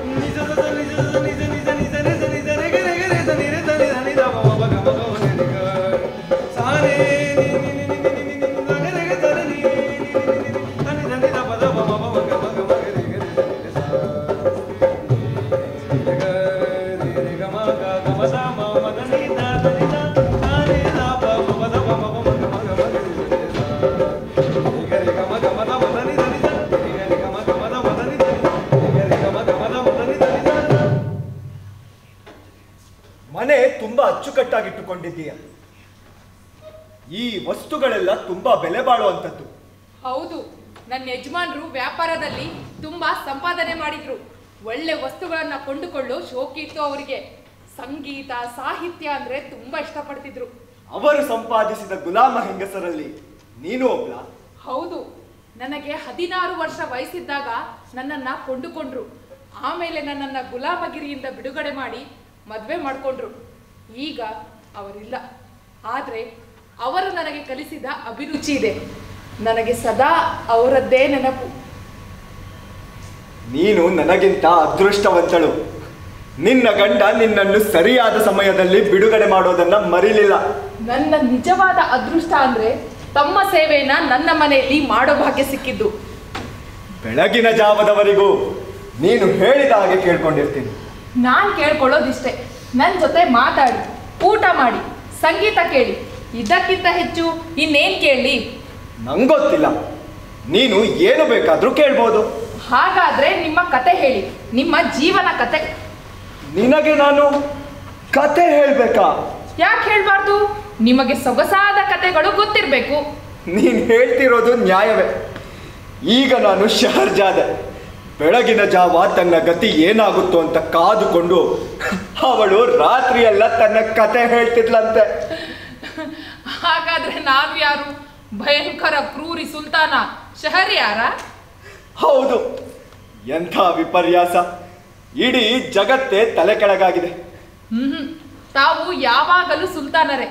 ನಾನು ನಿಮ್ಮ ಕಾಲ ಬಳಿ ಕುಳಿತು ಶಹರ್ಜಾದೆ ಆಗ್ತೀನಿ. ಆದ್ರೆ ಈ ಶಹರ್ಜಾದೆ ಬೆದರಿದ ಶಹರಿಯಾನನ ಪ್ರಾಣನ ಬೆಳಗಿನ ಜಾವದವರೆಗೂ ತನ್ನ ಮುಷ್ಟಿಯಲ್ಲಿಟ್ಕೊಂಡಿರ್ತಾಳಲ್ಲ ಇಲ್ಲ ಈ ಶಹರ್ಜಾದೆ ಸುಲ್ತಾನರನ್ನ ಖುಷಿ ಪಡಿಸ್ತಾಳೆ ಅವರ ಮನಸ್ಸಿಗೆ ಸಮಾಧಾನ ತರ್ತಾಳೆ ಅವರ ಆತಂಕ ಸಂಶಯನೆಲ್ಲ ದೂರ ಮಾಡ್ತಾಳೆ ಹಾ ಈಗ ಸ್ವಲ್ಪ ಸಂಗೀತ ಕೇಳೋಣವಾ ಆಗ್ಲಿ ಮರ್ಜಿನಾ ಜಿ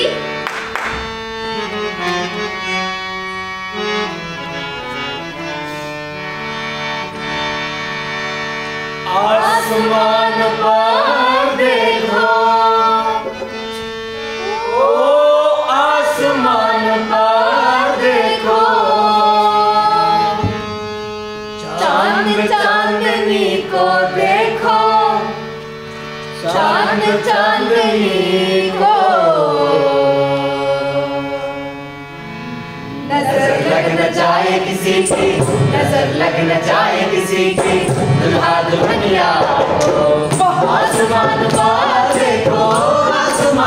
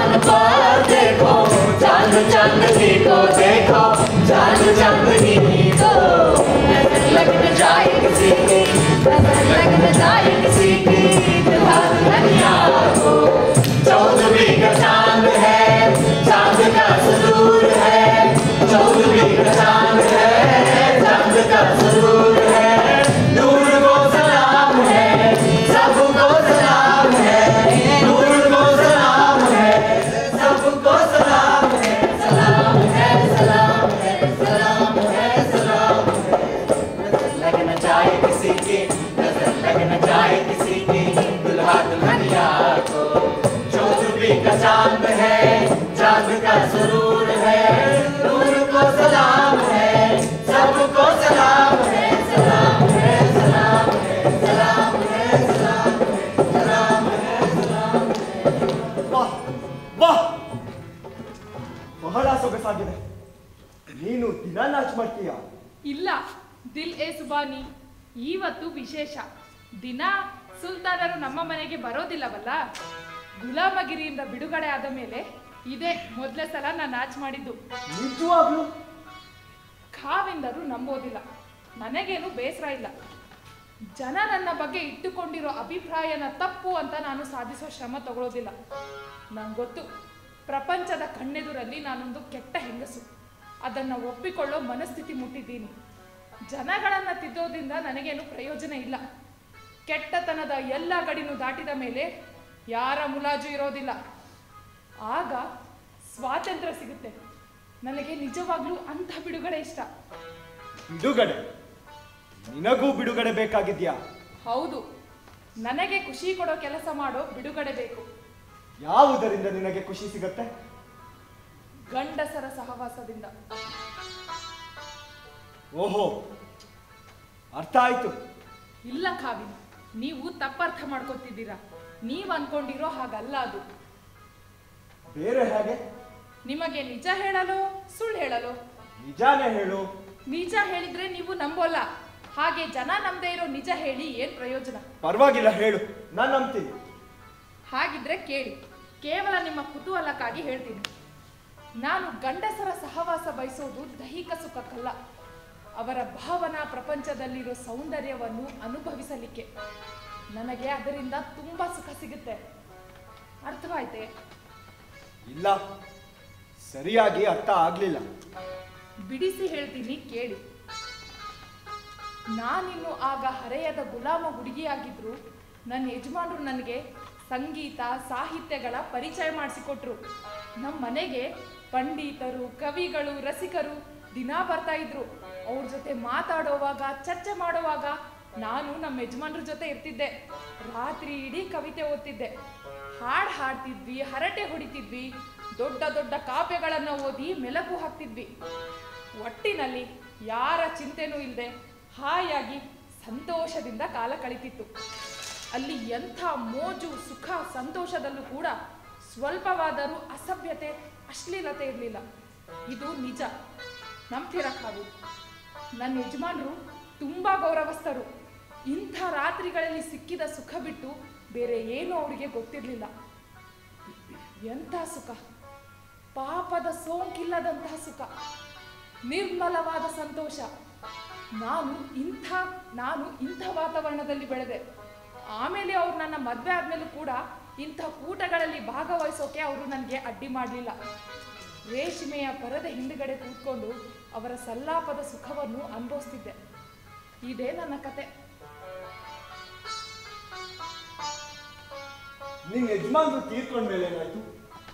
ಆಮೇಲೂ ನಾನು ನನ್ನ ಸಂಪ್ರದಾಯನ ಮುಂದುವರ್ಸ್ಕೊಂಡು ಬಂದೆ. ನಮ್ಮ ಮನೆಗೆ ದಿನ ಅವ್ರ ಸ್ನೇಹಿತರನ್ನ ಕರೆಸ್ತಿದ್ದೆ. ಮೊದ ಮೊದಲಿಗೆ ಪರದೆ ಹಿಂದಿನಿಂದಾನೇ ಬರ ಮಾಡ್ಕೋತಿದ್ದೆ. ಆದ್ರೆ ಸುತ್ತಮುತ್ತಲಿನ ಜನ ನಮ್ಮ ಮನೆಗೆ ರಾತ್ರಿ ಗಂಡಸರು ಬರೋದನ್ನ ನೋಡಿ ಕೆಟ್ಟ ಮಾತಾಡೋಕೆ ಶುರು ಮಾಡಿದ್ರು. ಅದು ನನ್ನಂಥ ವಿಧವೇ ಮನೆಗೆ ಗಂಡಸರು ಬರೋದು ಅಂದ್ರೆ ಏನು? ಎಷ್ಟೇ ಆದರೂ ಜನಗಳ ಬಾಯಿಗೆ ಯಾರ ಅಡ್ಡಿ? ಆಮೇಲೆ ನಾನೇ ಪರದೆ ಹಿಂದೆ ಸರಿಸಿ ಮುಂದೆ ಬಂದು ನನ್ನ ಅತಿಥಿಗಳನ್ನ ಬರಮಾಡ್ಕೊಂಡೆ ಹೇಗೋ ಜನ ನನ್ನ ಮೇಲೆ ಅಪವಾದ ಹೊರಿಸಿ ಅವರ ತೀರ್ಪನ್ನು ಕೊಟ್ಟು ಬಿಟ್ಟಿದ್ದಾರಲ್ಲ ಅದರಿಂದ ನನ್ನ ನಡತೆ ಸರಿನೋ ತಪ್ಪೋ ಅನ್ನೋದನ್ನ ನಾನೇ ನಿರ್ಧರಿಸ್ಕೋಬೇಕು ಅಂದ್ಕೊಂಡ್ಬಿಟ್ಟೆ ನಿನ್ನ ಬಹಿರಂಗಕ್ಕೂ ಅಂತರಂಗಕ್ಕೂ ಎಷ್ಟೊಂದು ವ್ಯತ್ಯಾಸ? ಕಾವಿಂದರು ನಂಬಿದರೆ ನಂಬಿ ಬಿಟ್ಟರೆ ಬಿಡಿ. ನಾನು ನಿಜ ಹೇಳ್ತೀನಿ. ನಾನು ನಂಬ್ತೀನಿ. ನನ್ನ ಮನಸ್ಸಿಗೆ ಎಷ್ಟು ಆಯ ಅನ್ನಿಸ್ತಿದೆ ಗೊತ್ತಾ? ಯಾರು ಏನೇ ಹೇಳಿದ್ರು ನನ್ನ ನಡತೆನ ಬದಲಾಯಿಸಿಕೊಳ್ಳೋದಿಲ್ಲ. ನಾನು ನಡೆಯೋ ದಾರಿಲಿ ಮುಳ್ಳಿದ್ರೂ ಸರಿ ಕೆಸರಿದ್ರೂ ಸರಿ. ನಾನು ಅಲ್ಲೇ ನಡೀತೀನಿ. ಎಲ್ಲ ರಸ್ತೆಯಲ್ಲೂ ಕೆಸರು ಇದ್ದೇ ಇರುತ್ತೆ. ಮತ್ತೆ? ಆಗ ಅಷ್ಟು ಜನಗಳ ಎದುರು ನಾನು ನಿಮ್ಮ ಜೊತೆ ಸೊಕ್ಕಿನಿಂದ ಅಸಭ್ಯವಾಗಿ ನಡ್ಕೊಂಡೆ. ಯಾಕೆ ಹಾಗೆ ಮಾಡಿದೆ ಗೊತ್ತೇ? ತಾವು ದರ್ಪದಿಂದ ದುರಹಂಕಾರದಿಂದ ಜಬರ್ದಸ್ತಿಯಿಂದ ಎಲ್ಲರ ಮೇಲೆ ಕಿಡಿಕಾರು ಸುಲ್ತಾನರು ಅಂದುಕೊಂಡಿದ್ದೆ. ಸಾಮಾನ್ಯವಾಗಿ ಎಲ್ಲ ಸುಲ್ತಾನರು ಹಾಗೆ ತಾನೆ. ಆದ್ರೆ ನೀವು ಎಂಥ ದೊಡ್ಡ ದೊಡ್ಡ ಕೆಲಸಗಳನ್ನ ಮಾಡಿದ್ದೀರಿ? ಯುದ್ಧಗಳನ್ನು ಗೆದ್ದಿದ್ದೀರಿ. ನಿಮಗೆ ಅಹಂಕಾರ ಪಡೋ ಹಕ್ಕಿದೆ. ನೀವು ಹೇಗೆ ಆ ಮಂಗೋಲರ ದೊರೆಯ ಮೈಮೇಲಿದ್ದ ಮಾಣಿಕ್ಯನ ಅವನ ಕುತ್ತಿಗೆಗೆ ಕತ್ತಿ ಹಾಕಿ ಹೇಗೆ ಕಸಿದ್ಕೊಂಡ್ರಿ ಅನ್ನೋದನ್ನ ಜನ ಈಗ್ಲೂ ಹಾಡಿ ಹೊಗಳ್ತಾನೆ ಇರ್ತಾರೆ. ಅದರಿಂದಾನೇ ನಾನು ನಿಮ್ಮನ್ನ ದುರಹಂಕಾರಿ, ಕ್ರೂರಿ, ಸರ್ವಾಧಿಕಾರಿ ಅಂತ ಏನೇನೋ ಅಂದ್ಕೊಂಡ್ಬಿಟ್ಟಿದ್ದೆ. ಆದ್ರೆ ನೀವು ನನ್ನ ಜೊತೆ ನಯವಾಗಿ, ಸಮಾಧಾನದಿಂದ, ಗೌರವದಿಂದ ಮಾತಾಡಿದ ಕೂಡಲೇ ನನಗೆ ತುಂಬಾ ಗಾಬರಿ ಆಯ್ತು. ತುಂಬಾ ಗೊಂದಲನೂ ಆಯ್ತು. ಆಹಾ ತಡಿ ತಡಿ. ಅಷ್ಟು ಸುಲಭವಾಗಿ ಮೋಸ ಹೋಗ್ಬೇಡ. ನಾನು ಯಾವಾಗ್ಲೂ ನಯವಾಗಿ ನಡ್ಕೊಳ್ಳೋದಿಲ್ಲ. ಅತ್ಯಂತ ಕ್ರೂರಿ ಸುಲ್ತಾನನು ನಾಚಿಕೊಳ್ಳೋ ಹಾಗೆ ವರ್ತಿಸಿದ್ದೇನೆ. ಎಷ್ಟೋ ಸಲ. ನಾನದನ್ನ ನಂಬೋಲ್ಲ. ನಂಬೋಲ್ಲ?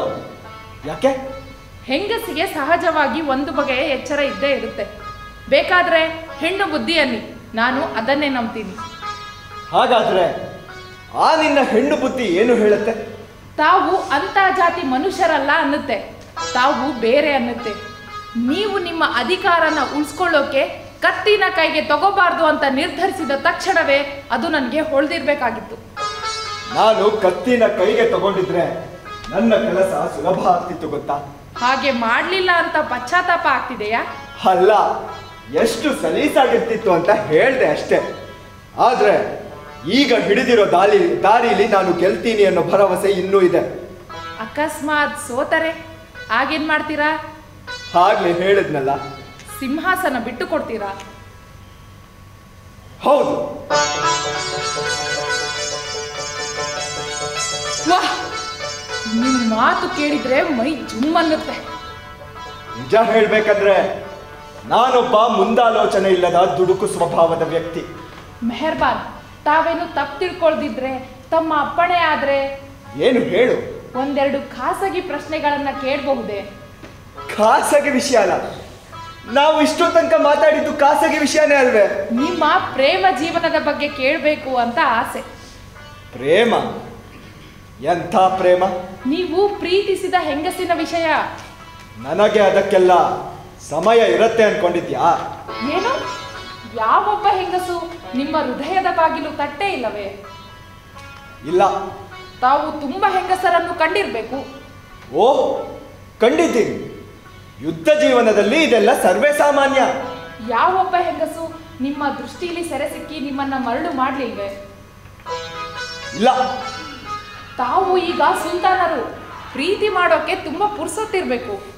ನೀನು ಹಾಗೆ ಅನ್ಕೊಂಡಿದ್ಯಾ ಅಷ್ಟೇ. ಯಾಕೆ? ಏನು ಅಡಚಣೆ? ಯಾರ ಅಡ್ಡಿ ನಿಮಗೆ? ಸರಕಾರಿ ಸಮಸ್ಯೆಗಳು. ಈಗ ನೋಡು ನಾನು ಗುಲಾಮ ಅನ್ನೋ ಸಮಸ್ಯೆ. ಈ ಇಂಥ ಸಮಸ್ಯೆಗಳ ನಡುವೆ ನನಗೆ ಪ್ರೀತಿ ಮಾಡೋದಕ್ಕೆ ಮನ್ಸಾದ್ರೂ ಎಲ್ಲಿ ಬರುತ್ತೆ? ಕಾವಿಂದರು ಹೇಳೋದು ನಿಜ. ನಿನಗೆ ನಗು ಬರುತ್ತೆ. ಇನ್ನೊಂದು ಪ್ರಶ್ನೆ. ಖಂಡಿತ ಕೊನೆಯದು ಇದು ತುಂಬಾ ಗಂಭೀರವಾದ ಪ್ರಶ್ನೆ. ನನಗೆ ಸಂಬಂಧಿಸಿದ್ದು. ನಿನಗೆ ಸಂಬಂಧಿಸಿದ್ದ? ಹ್ಮ್. ಬೆಳಗಿನ ಜಾವಕ್ಕೆ ನಾನು ನಿಮ್ಮನ್ನ ಬಿಡುಗಡೆ ಮಾಡ್ತೀನಿ ಅಂತ ಇಟ್ಕೊಳ್ಳೋಣ. ಆಗ ತಾವು ಅರಮನೆಗೆ ಹಿಂತಿರುಗ್ತೀರಾ? ಹೌದು. ಬೇಕಾದಷ್ಟು ಕೆಲಸ ಕಾದುಕೊಂಡಿದೆ. ನನ್ನ ಗತಿ ಏನು? ನನ್ನ ವಿಚಾರನ ಏನಾದರೂ ನೆನ್ಪಿಟ್ಕೊಂಡಿರ್ತೀರಾ? ನೀನು ಏನು ನೀನು ಏನು ಕೇಳ್ತಿದ್ಯೋ ಅರ್ಥ ಆಗ್ತಿಲ್ಲ. ನಿಮಗೆ ಚೆನ್ನಾಗಿ ಅರ್ಥವಾಗುತ್ತೆ ಕಾವಿ ಆದರೂ ಬಿಡಿಸಿ ಹೇಳ್ತೀನಿ.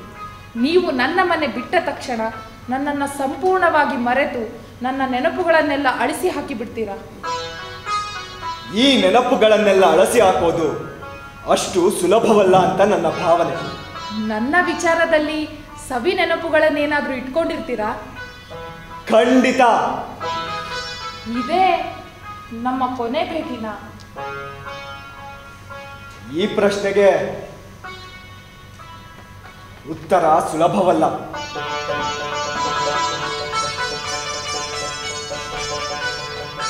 ಬೇಡಿ ಉತ್ತರ ಕೊಡಬೇಡಿ. ನಮಗೆ ಇಷ್ಟೇ ಸಾಕು. ಅಮ್ಮಣ್ಣಿಯವರೇ ಊಟ ತಯಾರಿದೆ. ಹಾವಿಂದಲೂ ದಯ ಮಾಡಿಸಬೇಕು.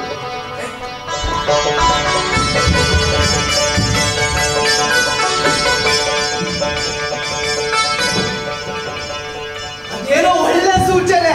ಎಂತ ಒಳ್ಳೆ ಸೂಚನೆ? ದೀಪ ಹಚ್ಚಿ ಮಲ್ಕೋತಾರೆ ಅಂದ್ರೆ? ಅಂದ್ರೆ? ಎಲ್ಲ ಒಪ್ಪಂದ ನೆಟ್ಟಿಗೆ ಆಯ್ತು ಅಂತ. ಅಲ್ಲೋಡು ಆ ವಜ್ರು ಮತ್ತೆ ಕಟುಕ. ಸುಮ್ನಿರು ಸುಮ್ನಿರು ಅವ್ರಿಬ್ರು ಏನೋ ಪಿತೂರಿ ಮಾಡ್ತಿರೋ ಹಾಗಿದೆ. ವಜ್ರೆ ಸಿಪಾಯಿಗಳು ಏನು ಹೇಳ್ತಾರೆ? ಜನರ ಗುಂಪು ಬೀದಿ ಬೀದಿಗಳಲ್ಲಿ ಗಲ್ಲಿ ಗಲ್ಲಿಗಳಲ್ಲಿ ಸೇರಿ ಪಿಸುಗುಡ್ತಾ ಸುದ್ದಿ ಹರಡ್ತಿದಾರಂತೆ. ಏನು ಸುದ್ದಿ ಹಡ್ತಿದ್ದಾರೆ ಅದೇ ಸುಲ್ತಾನ್ ವಿಷಯ. ಅವ್ರು ಈ ಮನೆಯೊಳಗೆ ಏನು ಮಾಡ್ತಿರ್ಬಹುದು ಅಂತ.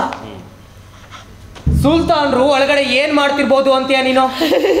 ನನ್ನ ಕೇಳಿದ್ರ ವಜೀರ್ ಸಾಹೇಬ್ರೆ. ಹೌದು ನಿನ್ನನ್ನೇ ಕೇಳಿದ್ದು. ನಿಜವಾಗ್ಲೂ ಅವರು ತಪಸ್ಸಂತೂ ಮಾಡ್ತಿಲ್ಲ. ಏನ್ ತಮಾಷೆ ಮಾಡ್ತಿದ್ಯಾ? ಎಷ್ಟು ದಿಮಾಕು ನಿನ್ಗೆ? ಊರಲ್ಲಿ ಎದ್ದಿರೋ ಗಾಳಿ ಸುದ್ದಿ ಹೇಳಿದೆ ಅಷ್ಟೇ. ಸಾಕು ಬಾಯಿ ಮುಚ್ಚು. ಎಂತ ಸಣ್ಣ ಮನುಷ್ಯರು ನೀವೆಲ್ಲ? ವಜೀರ್ ಸಾಹೇಬ್ರೆ ಈ ವಿಷಯವನ್ನ ಮುಂಚೆಯಿಂದ ಕೊನೆವರೆಗೂ ನನ್ನ ಕಣ್ಣಾರೆ ಕಂಡಿದ್ದೀನಿ. ನಿನ್ನೊಬ್ಬನಿಗೆ ಬೈತ್ರೆ ಏನ್ ಬಂತು? ಎಲ್ಲರೂ ಅಷ್ಟೇ. ನಿನ್ನಂಥದ್ದೇ ಸಣ್ಣ ಬುದ್ಧಿ. ನಿಮಗೆಲ್ಲ ಏನು ಅರ್ಥ ಆಗುತ್ತೆ ಮಣ್ಣು? ಎಂಥ ಗಂಭೀರ ಪರಿಸ್ಥಿತಿ. ಎಲ್ಲ ಬಿಟ್ಟು ಸುಲ್ತಾನರು ಸೂಳೆ ಮನೆಗೆ ಹೋದ್ರು ಅಂತ ಹಲ್ಕ ಮಾತಾಡ್ತೀರಾ? ನಿಮ್ಮಂಥವ್ರನ್ನೆಲ್ಲ ಕಟ್ಕೊಂಡು ನಾವು ದೇಶ ಆಳ್ಬೇಕು. ನಮ್ಮ ದುರದೃಷ್ಟ ನಮ್ಮ ಹಣೆ ಬರಹ.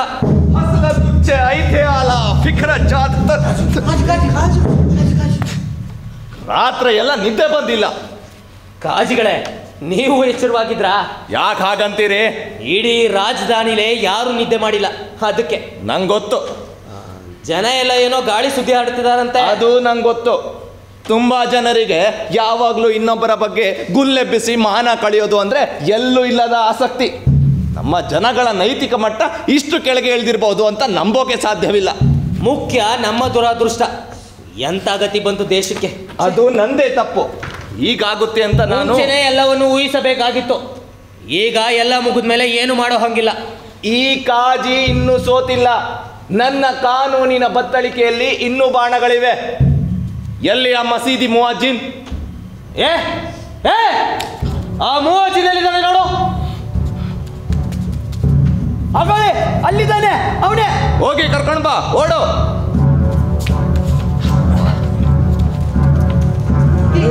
ರಾಜುಗಳೇ ಏನು ಯೋಜನೆ ಹಾಕಿರೋ ಹಾಗೆ ಕಾಣುತ್ತೆ ಹಾ ಹಾ ಹಾ.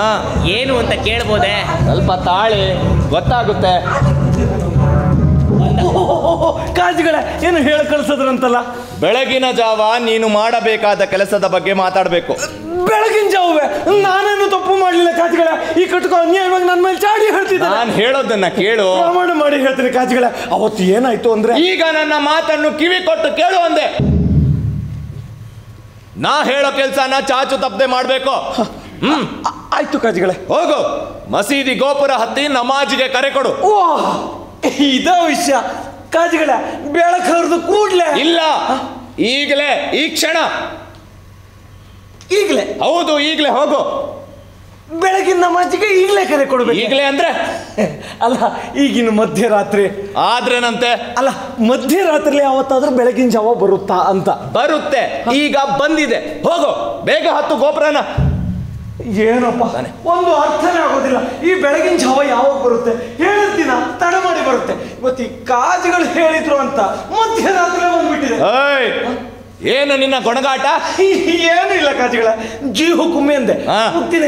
ಕೂಗೇ ಬಿಡ್ತೀನಿ. ನನಗೆ ಯಾರಪ್ಪ ಮನೆಗೆ ಹೊರ್ಟು ಹೋಗ್ಬೇಕು? ಹಾ. ಬಾಯಿಲೆ. ಇನ್ನೊಂದು ವಿಷಯ. ನಾನು ಹೀಗೆ ಹೇಳಿದ್ದೆ ಅಂತ ಯಾರ ಹತ್ರನಾದ್ರೂ ಬಾಯಿ ಬಿಟ್ಟಿಯ ಮತ್ತೆ? ಗಪ್ ಚುಪ್ಪಾಗಿರ್ಬೇಕು? ಹಂಗಂದ್ರೆ? ಇಷ್ಟೊತ್ತಿಗೆ ನಮಾಜಿಗೆ ಕರೆ ಕೊಡುವಂತ ನಿನಗೆ ಯಾರು ಹೇಳಿಕೊಡಲಿಲ್ಲ. ನಿನ್ನಷ್ಟಕ್ಕೆ ನೀನೇ ಕೂಗಿದೆ ಅಂತ. ಏನು? ನನ್ನಷ್ಟಕ್ಕೆ ನಾನೇ. ಹೌದು. ಜನ ಏನಂದಾರು ಕಾಜಿಗಳೇ? ಇದು ಸರ್ಕಾರಕ್ಕೆ ದೇಶಕ್ಕೆ ನಿನ್ನ ಸೇವೆ ಉಪಕಾರ ಅಂತ ತಿಳ್ಕೋ. ಸರ್ಕಾರಕ್ಕೆ ದೇಶಕ್ಕೆ ನನ್ನ ಸೇವೆ ಹೌದು. ಒಳಗೊಟ್ಟು ಹೇಳ್ತೀನಿ ಕೇಳಿಲಿ ಈಗ ನೀನು ನಮಾಜಿಗೆ ಕರೆ ಕೊಟ್ರೆ ನಮ್ಮ ಸುಲ್ತಾನರು ತಕ್ಷಣ ಸ್ವತಂತ್ರರಾಗಿ ಈ ಮನೆಯಿಂದ ಹೊರಗೆ ಬರ್ತಾರೆ. ಅಷ್ಟೇ. ಅರ್ಥವಾಯ್ತೆ? ಅರ್ಥವಾಯ್ತು ಕಾಜಿಗಳೇ. ಇದರಿಂದ ನಾನು ಇಡೀ ಜೀವನ ಹೆಮ್ಮೆ ಪಡಬಹುದು. ಕಾಜಿಗಳೇ ಇನ್ನೊಂದು ವಿಚಾರ. ನಮ್ಮಿಬ್ಬರಲ್ಲೇ ಇರಲಿ ನಾನೊಂದು ಸಣ್ಣ ಸುಳ್ಳು ಹೇಳಿದ್ದೀನಿ. ಅದರಿಂದ ಒಬ್ಬನ ತಲೆ ಉರುಳೋದು ತಪ್ಪಿತ್ತು. ಈಗ ಅಂಥದ್ದೇ ಇನ್ನೊಂದು ಸುಳ್ಳು ಹೇಳಿ ನಮ್ಮ ಸುಲ್ತಾನರನ್ನ ಯಾಕೆ ಬಿಡುಗಡೆ ಮಾಡಬಾರದು? ಅಲ್ಲ ಮಾತಿಗೆ ಹೇಳಿದೆ. ಮುಚ್ಕೊಂಡು ಹೋಗು ಅಂದೆ.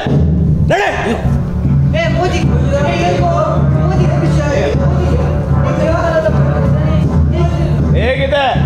ನನ್ನ ಯೋಜನೆ. ನೋಡ್ತಾ ಇರಿ. ಮಾಡ್ತೀನಿ ಅವಳಿಗೆ. ನನಗೆ ನನಗೆ ಅವನು ನೋಡಿದ್ದೆ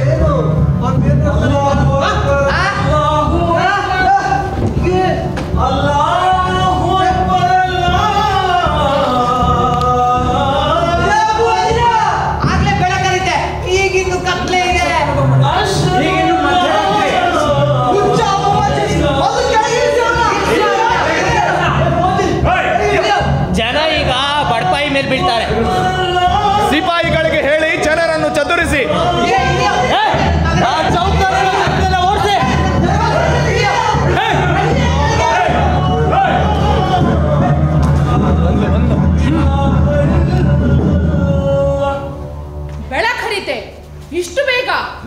ನಮಾಜಿಗೆ ಕರೆ ಕೊಟ್ಟಿದ್ದು ಕೇಳಿಸ್ಲಿಲ್ವಾ? ತಕ್ಷಣ ಬಾಯಿಲೆ ಇದೇನು ಅತಿರೇಕ. ಆಕಾಶದಲ್ಲಿ ನಕ್ಷತ್ರ ನೋಡಿ. ನಿಜವಾಗ್ಲೂ ವಿಚಿತ್ರವಾಗಿದೆ. ತಕ್ಷಣ ಬಾ ಅಂತ ಹೇಳಿದ್ದು ಕೇಳಿಸ್ಲಿಲ್ವಾ? ಅದೇನು ಅಂತ ನೋಡೋಣ ನಡಿ. ಬನ್ನಿ ಸರ್ಕಾರ ಹೋಗೋಣ.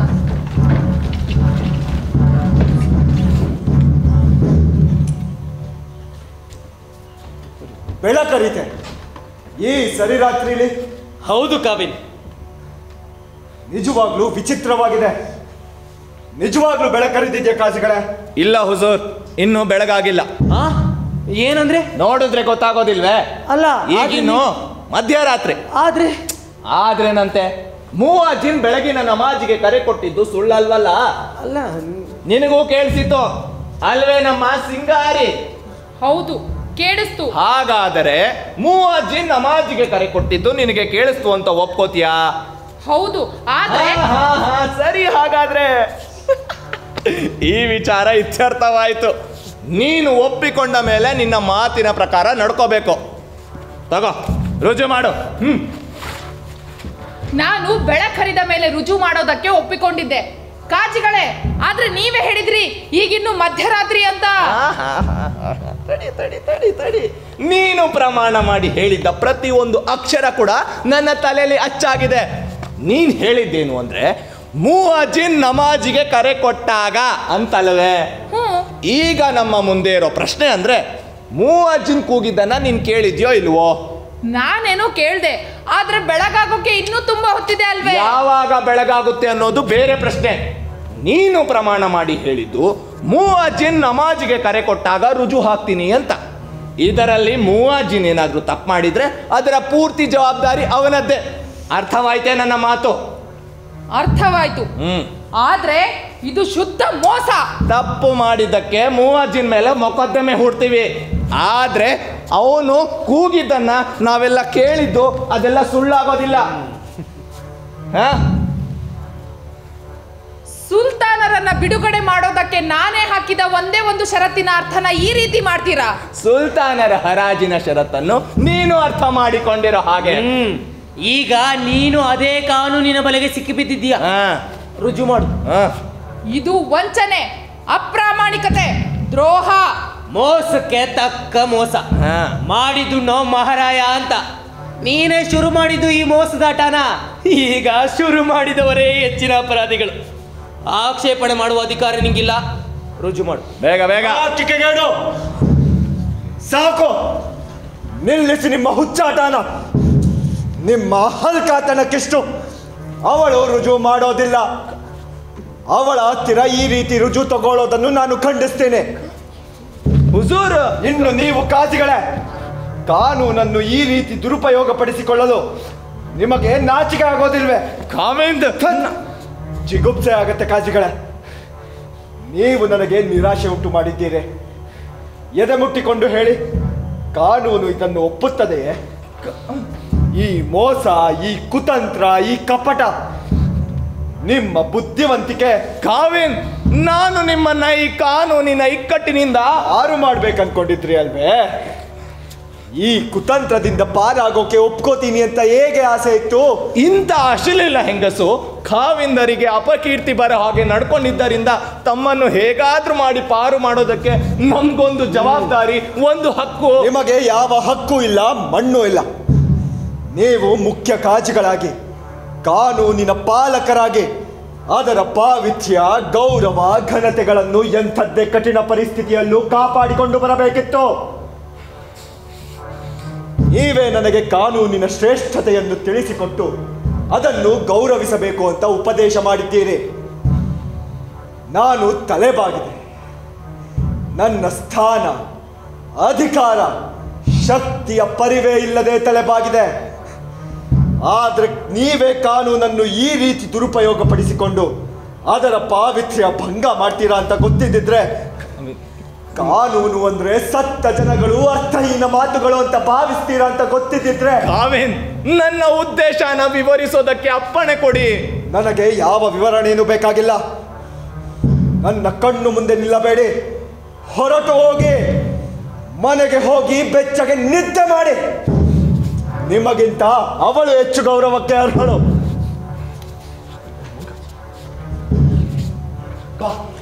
ಹೋಗೋಣ. ನಾನು ನಿನ್ನ ಜೊತೆ ಬರಲು ಸಿದ್ಧನಿದ್ದೇನೆ. ಬೇಡ ಕಾವಿ. ಯಾಕೆ? ಕಾಜಿಗಳು ನಿಮ್ಮನ್ನ ನನ್ನ ಕೈಯಿಂದ ಪಾರು ಮಾಡಬೇಕು ಅಂದ್ಕೊಂಡಿದ್ರು. ನಿಮ್ಮ ವಿಷಯದಲ್ಲಿ ನಾನೇನು ಅವರಿಗಿಂತ ಕಡಿಮೆ ನಿಷ್ಠೆ ಇರೋಳು ಅಂತ ಮಾತ್ರ ತಿಳ್ಕೋಬೇಡಿ. ನೀವು ಈಗ ಸ್ವತಂತ್ರರು ಸರ್ಕಾರ.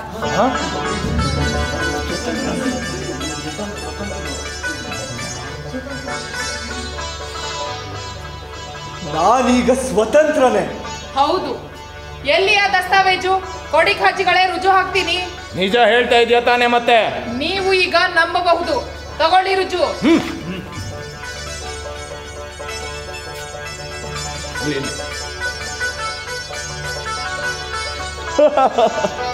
ನೀನ್ ಏನೇ ಮಾಡಿದ್ರು ಒಬ್ಬ ಒಳ್ಳೆ ನಡತೆ ಹೆಂಗಸು.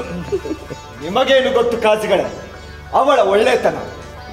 ಇಡೀ ದೇಶ ಅವಳನ್ನು ಗೌರವಿಸಬೇಕು. ಇದು ನನ್ನ ಫಾಮಾನ್ ವಜೀರ್. ಆಗಲಿ ಕಾವಿನ್. ಕಾವಿನ್ ಅಂತೂ ಎಲ್ಲ ಸುಸೂತ್ರವಾಗಿ ಮುಕ್ತಾಯವಾದ ಹಾಗಾಯ್ತು. ಒಂದು ತೊಟ್ಟು ರಕ್ತವು ಚೆಲ್ಲದೆ. ಅದು ಮುಖ್ಯವಾದ ಮಾತು. ಅದು ಅಸಲಿ ಮಾತು. ಈ ನಮ್ಮ ಮಹಿಳೆ ಸಿಂಗಾರಿಯ ಔದಾರ್ಯಕ್ಕೆ ದೇಶ ಪ್ರೇಮಕ್ಕೆ ಸಂಸ್ಕೃತಿಗೆ ಚಿರಋಣಿಗಳಾಗಿರಬೇಕು. ನಿನಗೆ ಧನ್ಯವಾದಗಳು. ನೀನು ನನಗಾಗಿ ಕೊಟ್ಟ ಮೂವತ್ತು ಸಾವಿರ ದೀನಾರನ್ನು ನಾನು ವಾಪಸ್ ಕೊಡ್ತೀನಿ. ನನ್ನಿಂದ ನಿನಗೆ ಲುಕ್ಸಾನ್ ಆಗೋದು ಬೇಡ. ವಜೆ ನನ್ನ ಲೆಕ್ಕದಲ್ಲಿ ಇವಳಿಗೆ ಮೂವತ್ತು ಸಾವಿರ ದೀನಾರ್ ಕೊಡಿಸು. ಆಗಲಿ ಕಾವಿನ್. ಬೇಡ ಕಾವಿನ್. ನನಗೆ ಆ ಹಣ ಬೇಡ. ಪ್ರಪಂಚದಲ್ಲಿರೋ ಎಲ್ಲ ಐಶ್ವರ್ಯ ಕೊಟ್ಟರು ನನ್ನ ಜೀವನದ ಅಮೂಲ್ಯವಾದ ಈ ನೆನಪನ್ನು ಬಿಟ್ಟುಕೊಡಲಾರೆ ಒಂದು ಜುಜುಬಿ ರಕಂ ಖರ್ಚು ಮಾಡಿ ಅಮೂಲ್ಯವಾದ ಅನುಭವವನ್ನು ಸಂಪಾದನೆ ಮಾಡಿದ್ದೀನಿ ಅದನ್ನು ನೀವು ನನ್ನಿಂದ ಕಸಿದುಕೋಬೇಡಿ ಕಾವಿನ್ ನಿನಗೆ ಆ ನೆನಪುಗಳು ಅಷ್ಟೊಂದು ಮುಖ್ಯ ಆದರೆ ಇದನ್ನಾದರೂ ತಗೋ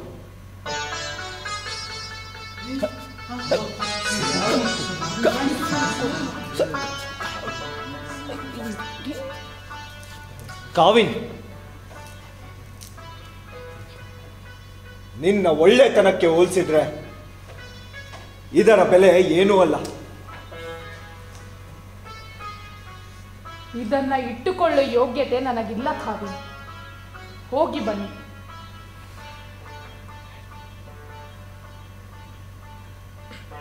ಅಳ್ತಿದೀಯ? ಹ್ಮ್ ಸಂತೋಷದಿಂದ.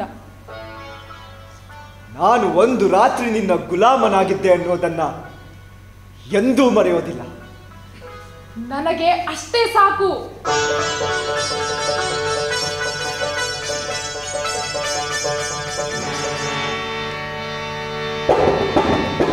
नजर लग न जाए किसी की नजर लग न जाए किसी की दुल्हा दुल्हनिया को आसमान पर देखो आसमान पर देखो, चाँद चांदनी को देखो, चाँद चांदनी को नज़र लगना चाहे किसी की, नज़र लगना चाहे किसी की दुलास दुल्हनिया को चौदवी का चाँद है, चाँद का सरूर है, नूर को सलाम है सबको सलाम है सलाम है सलाम है सलाम है सलाम है सलाम है सलाम है सलाम है।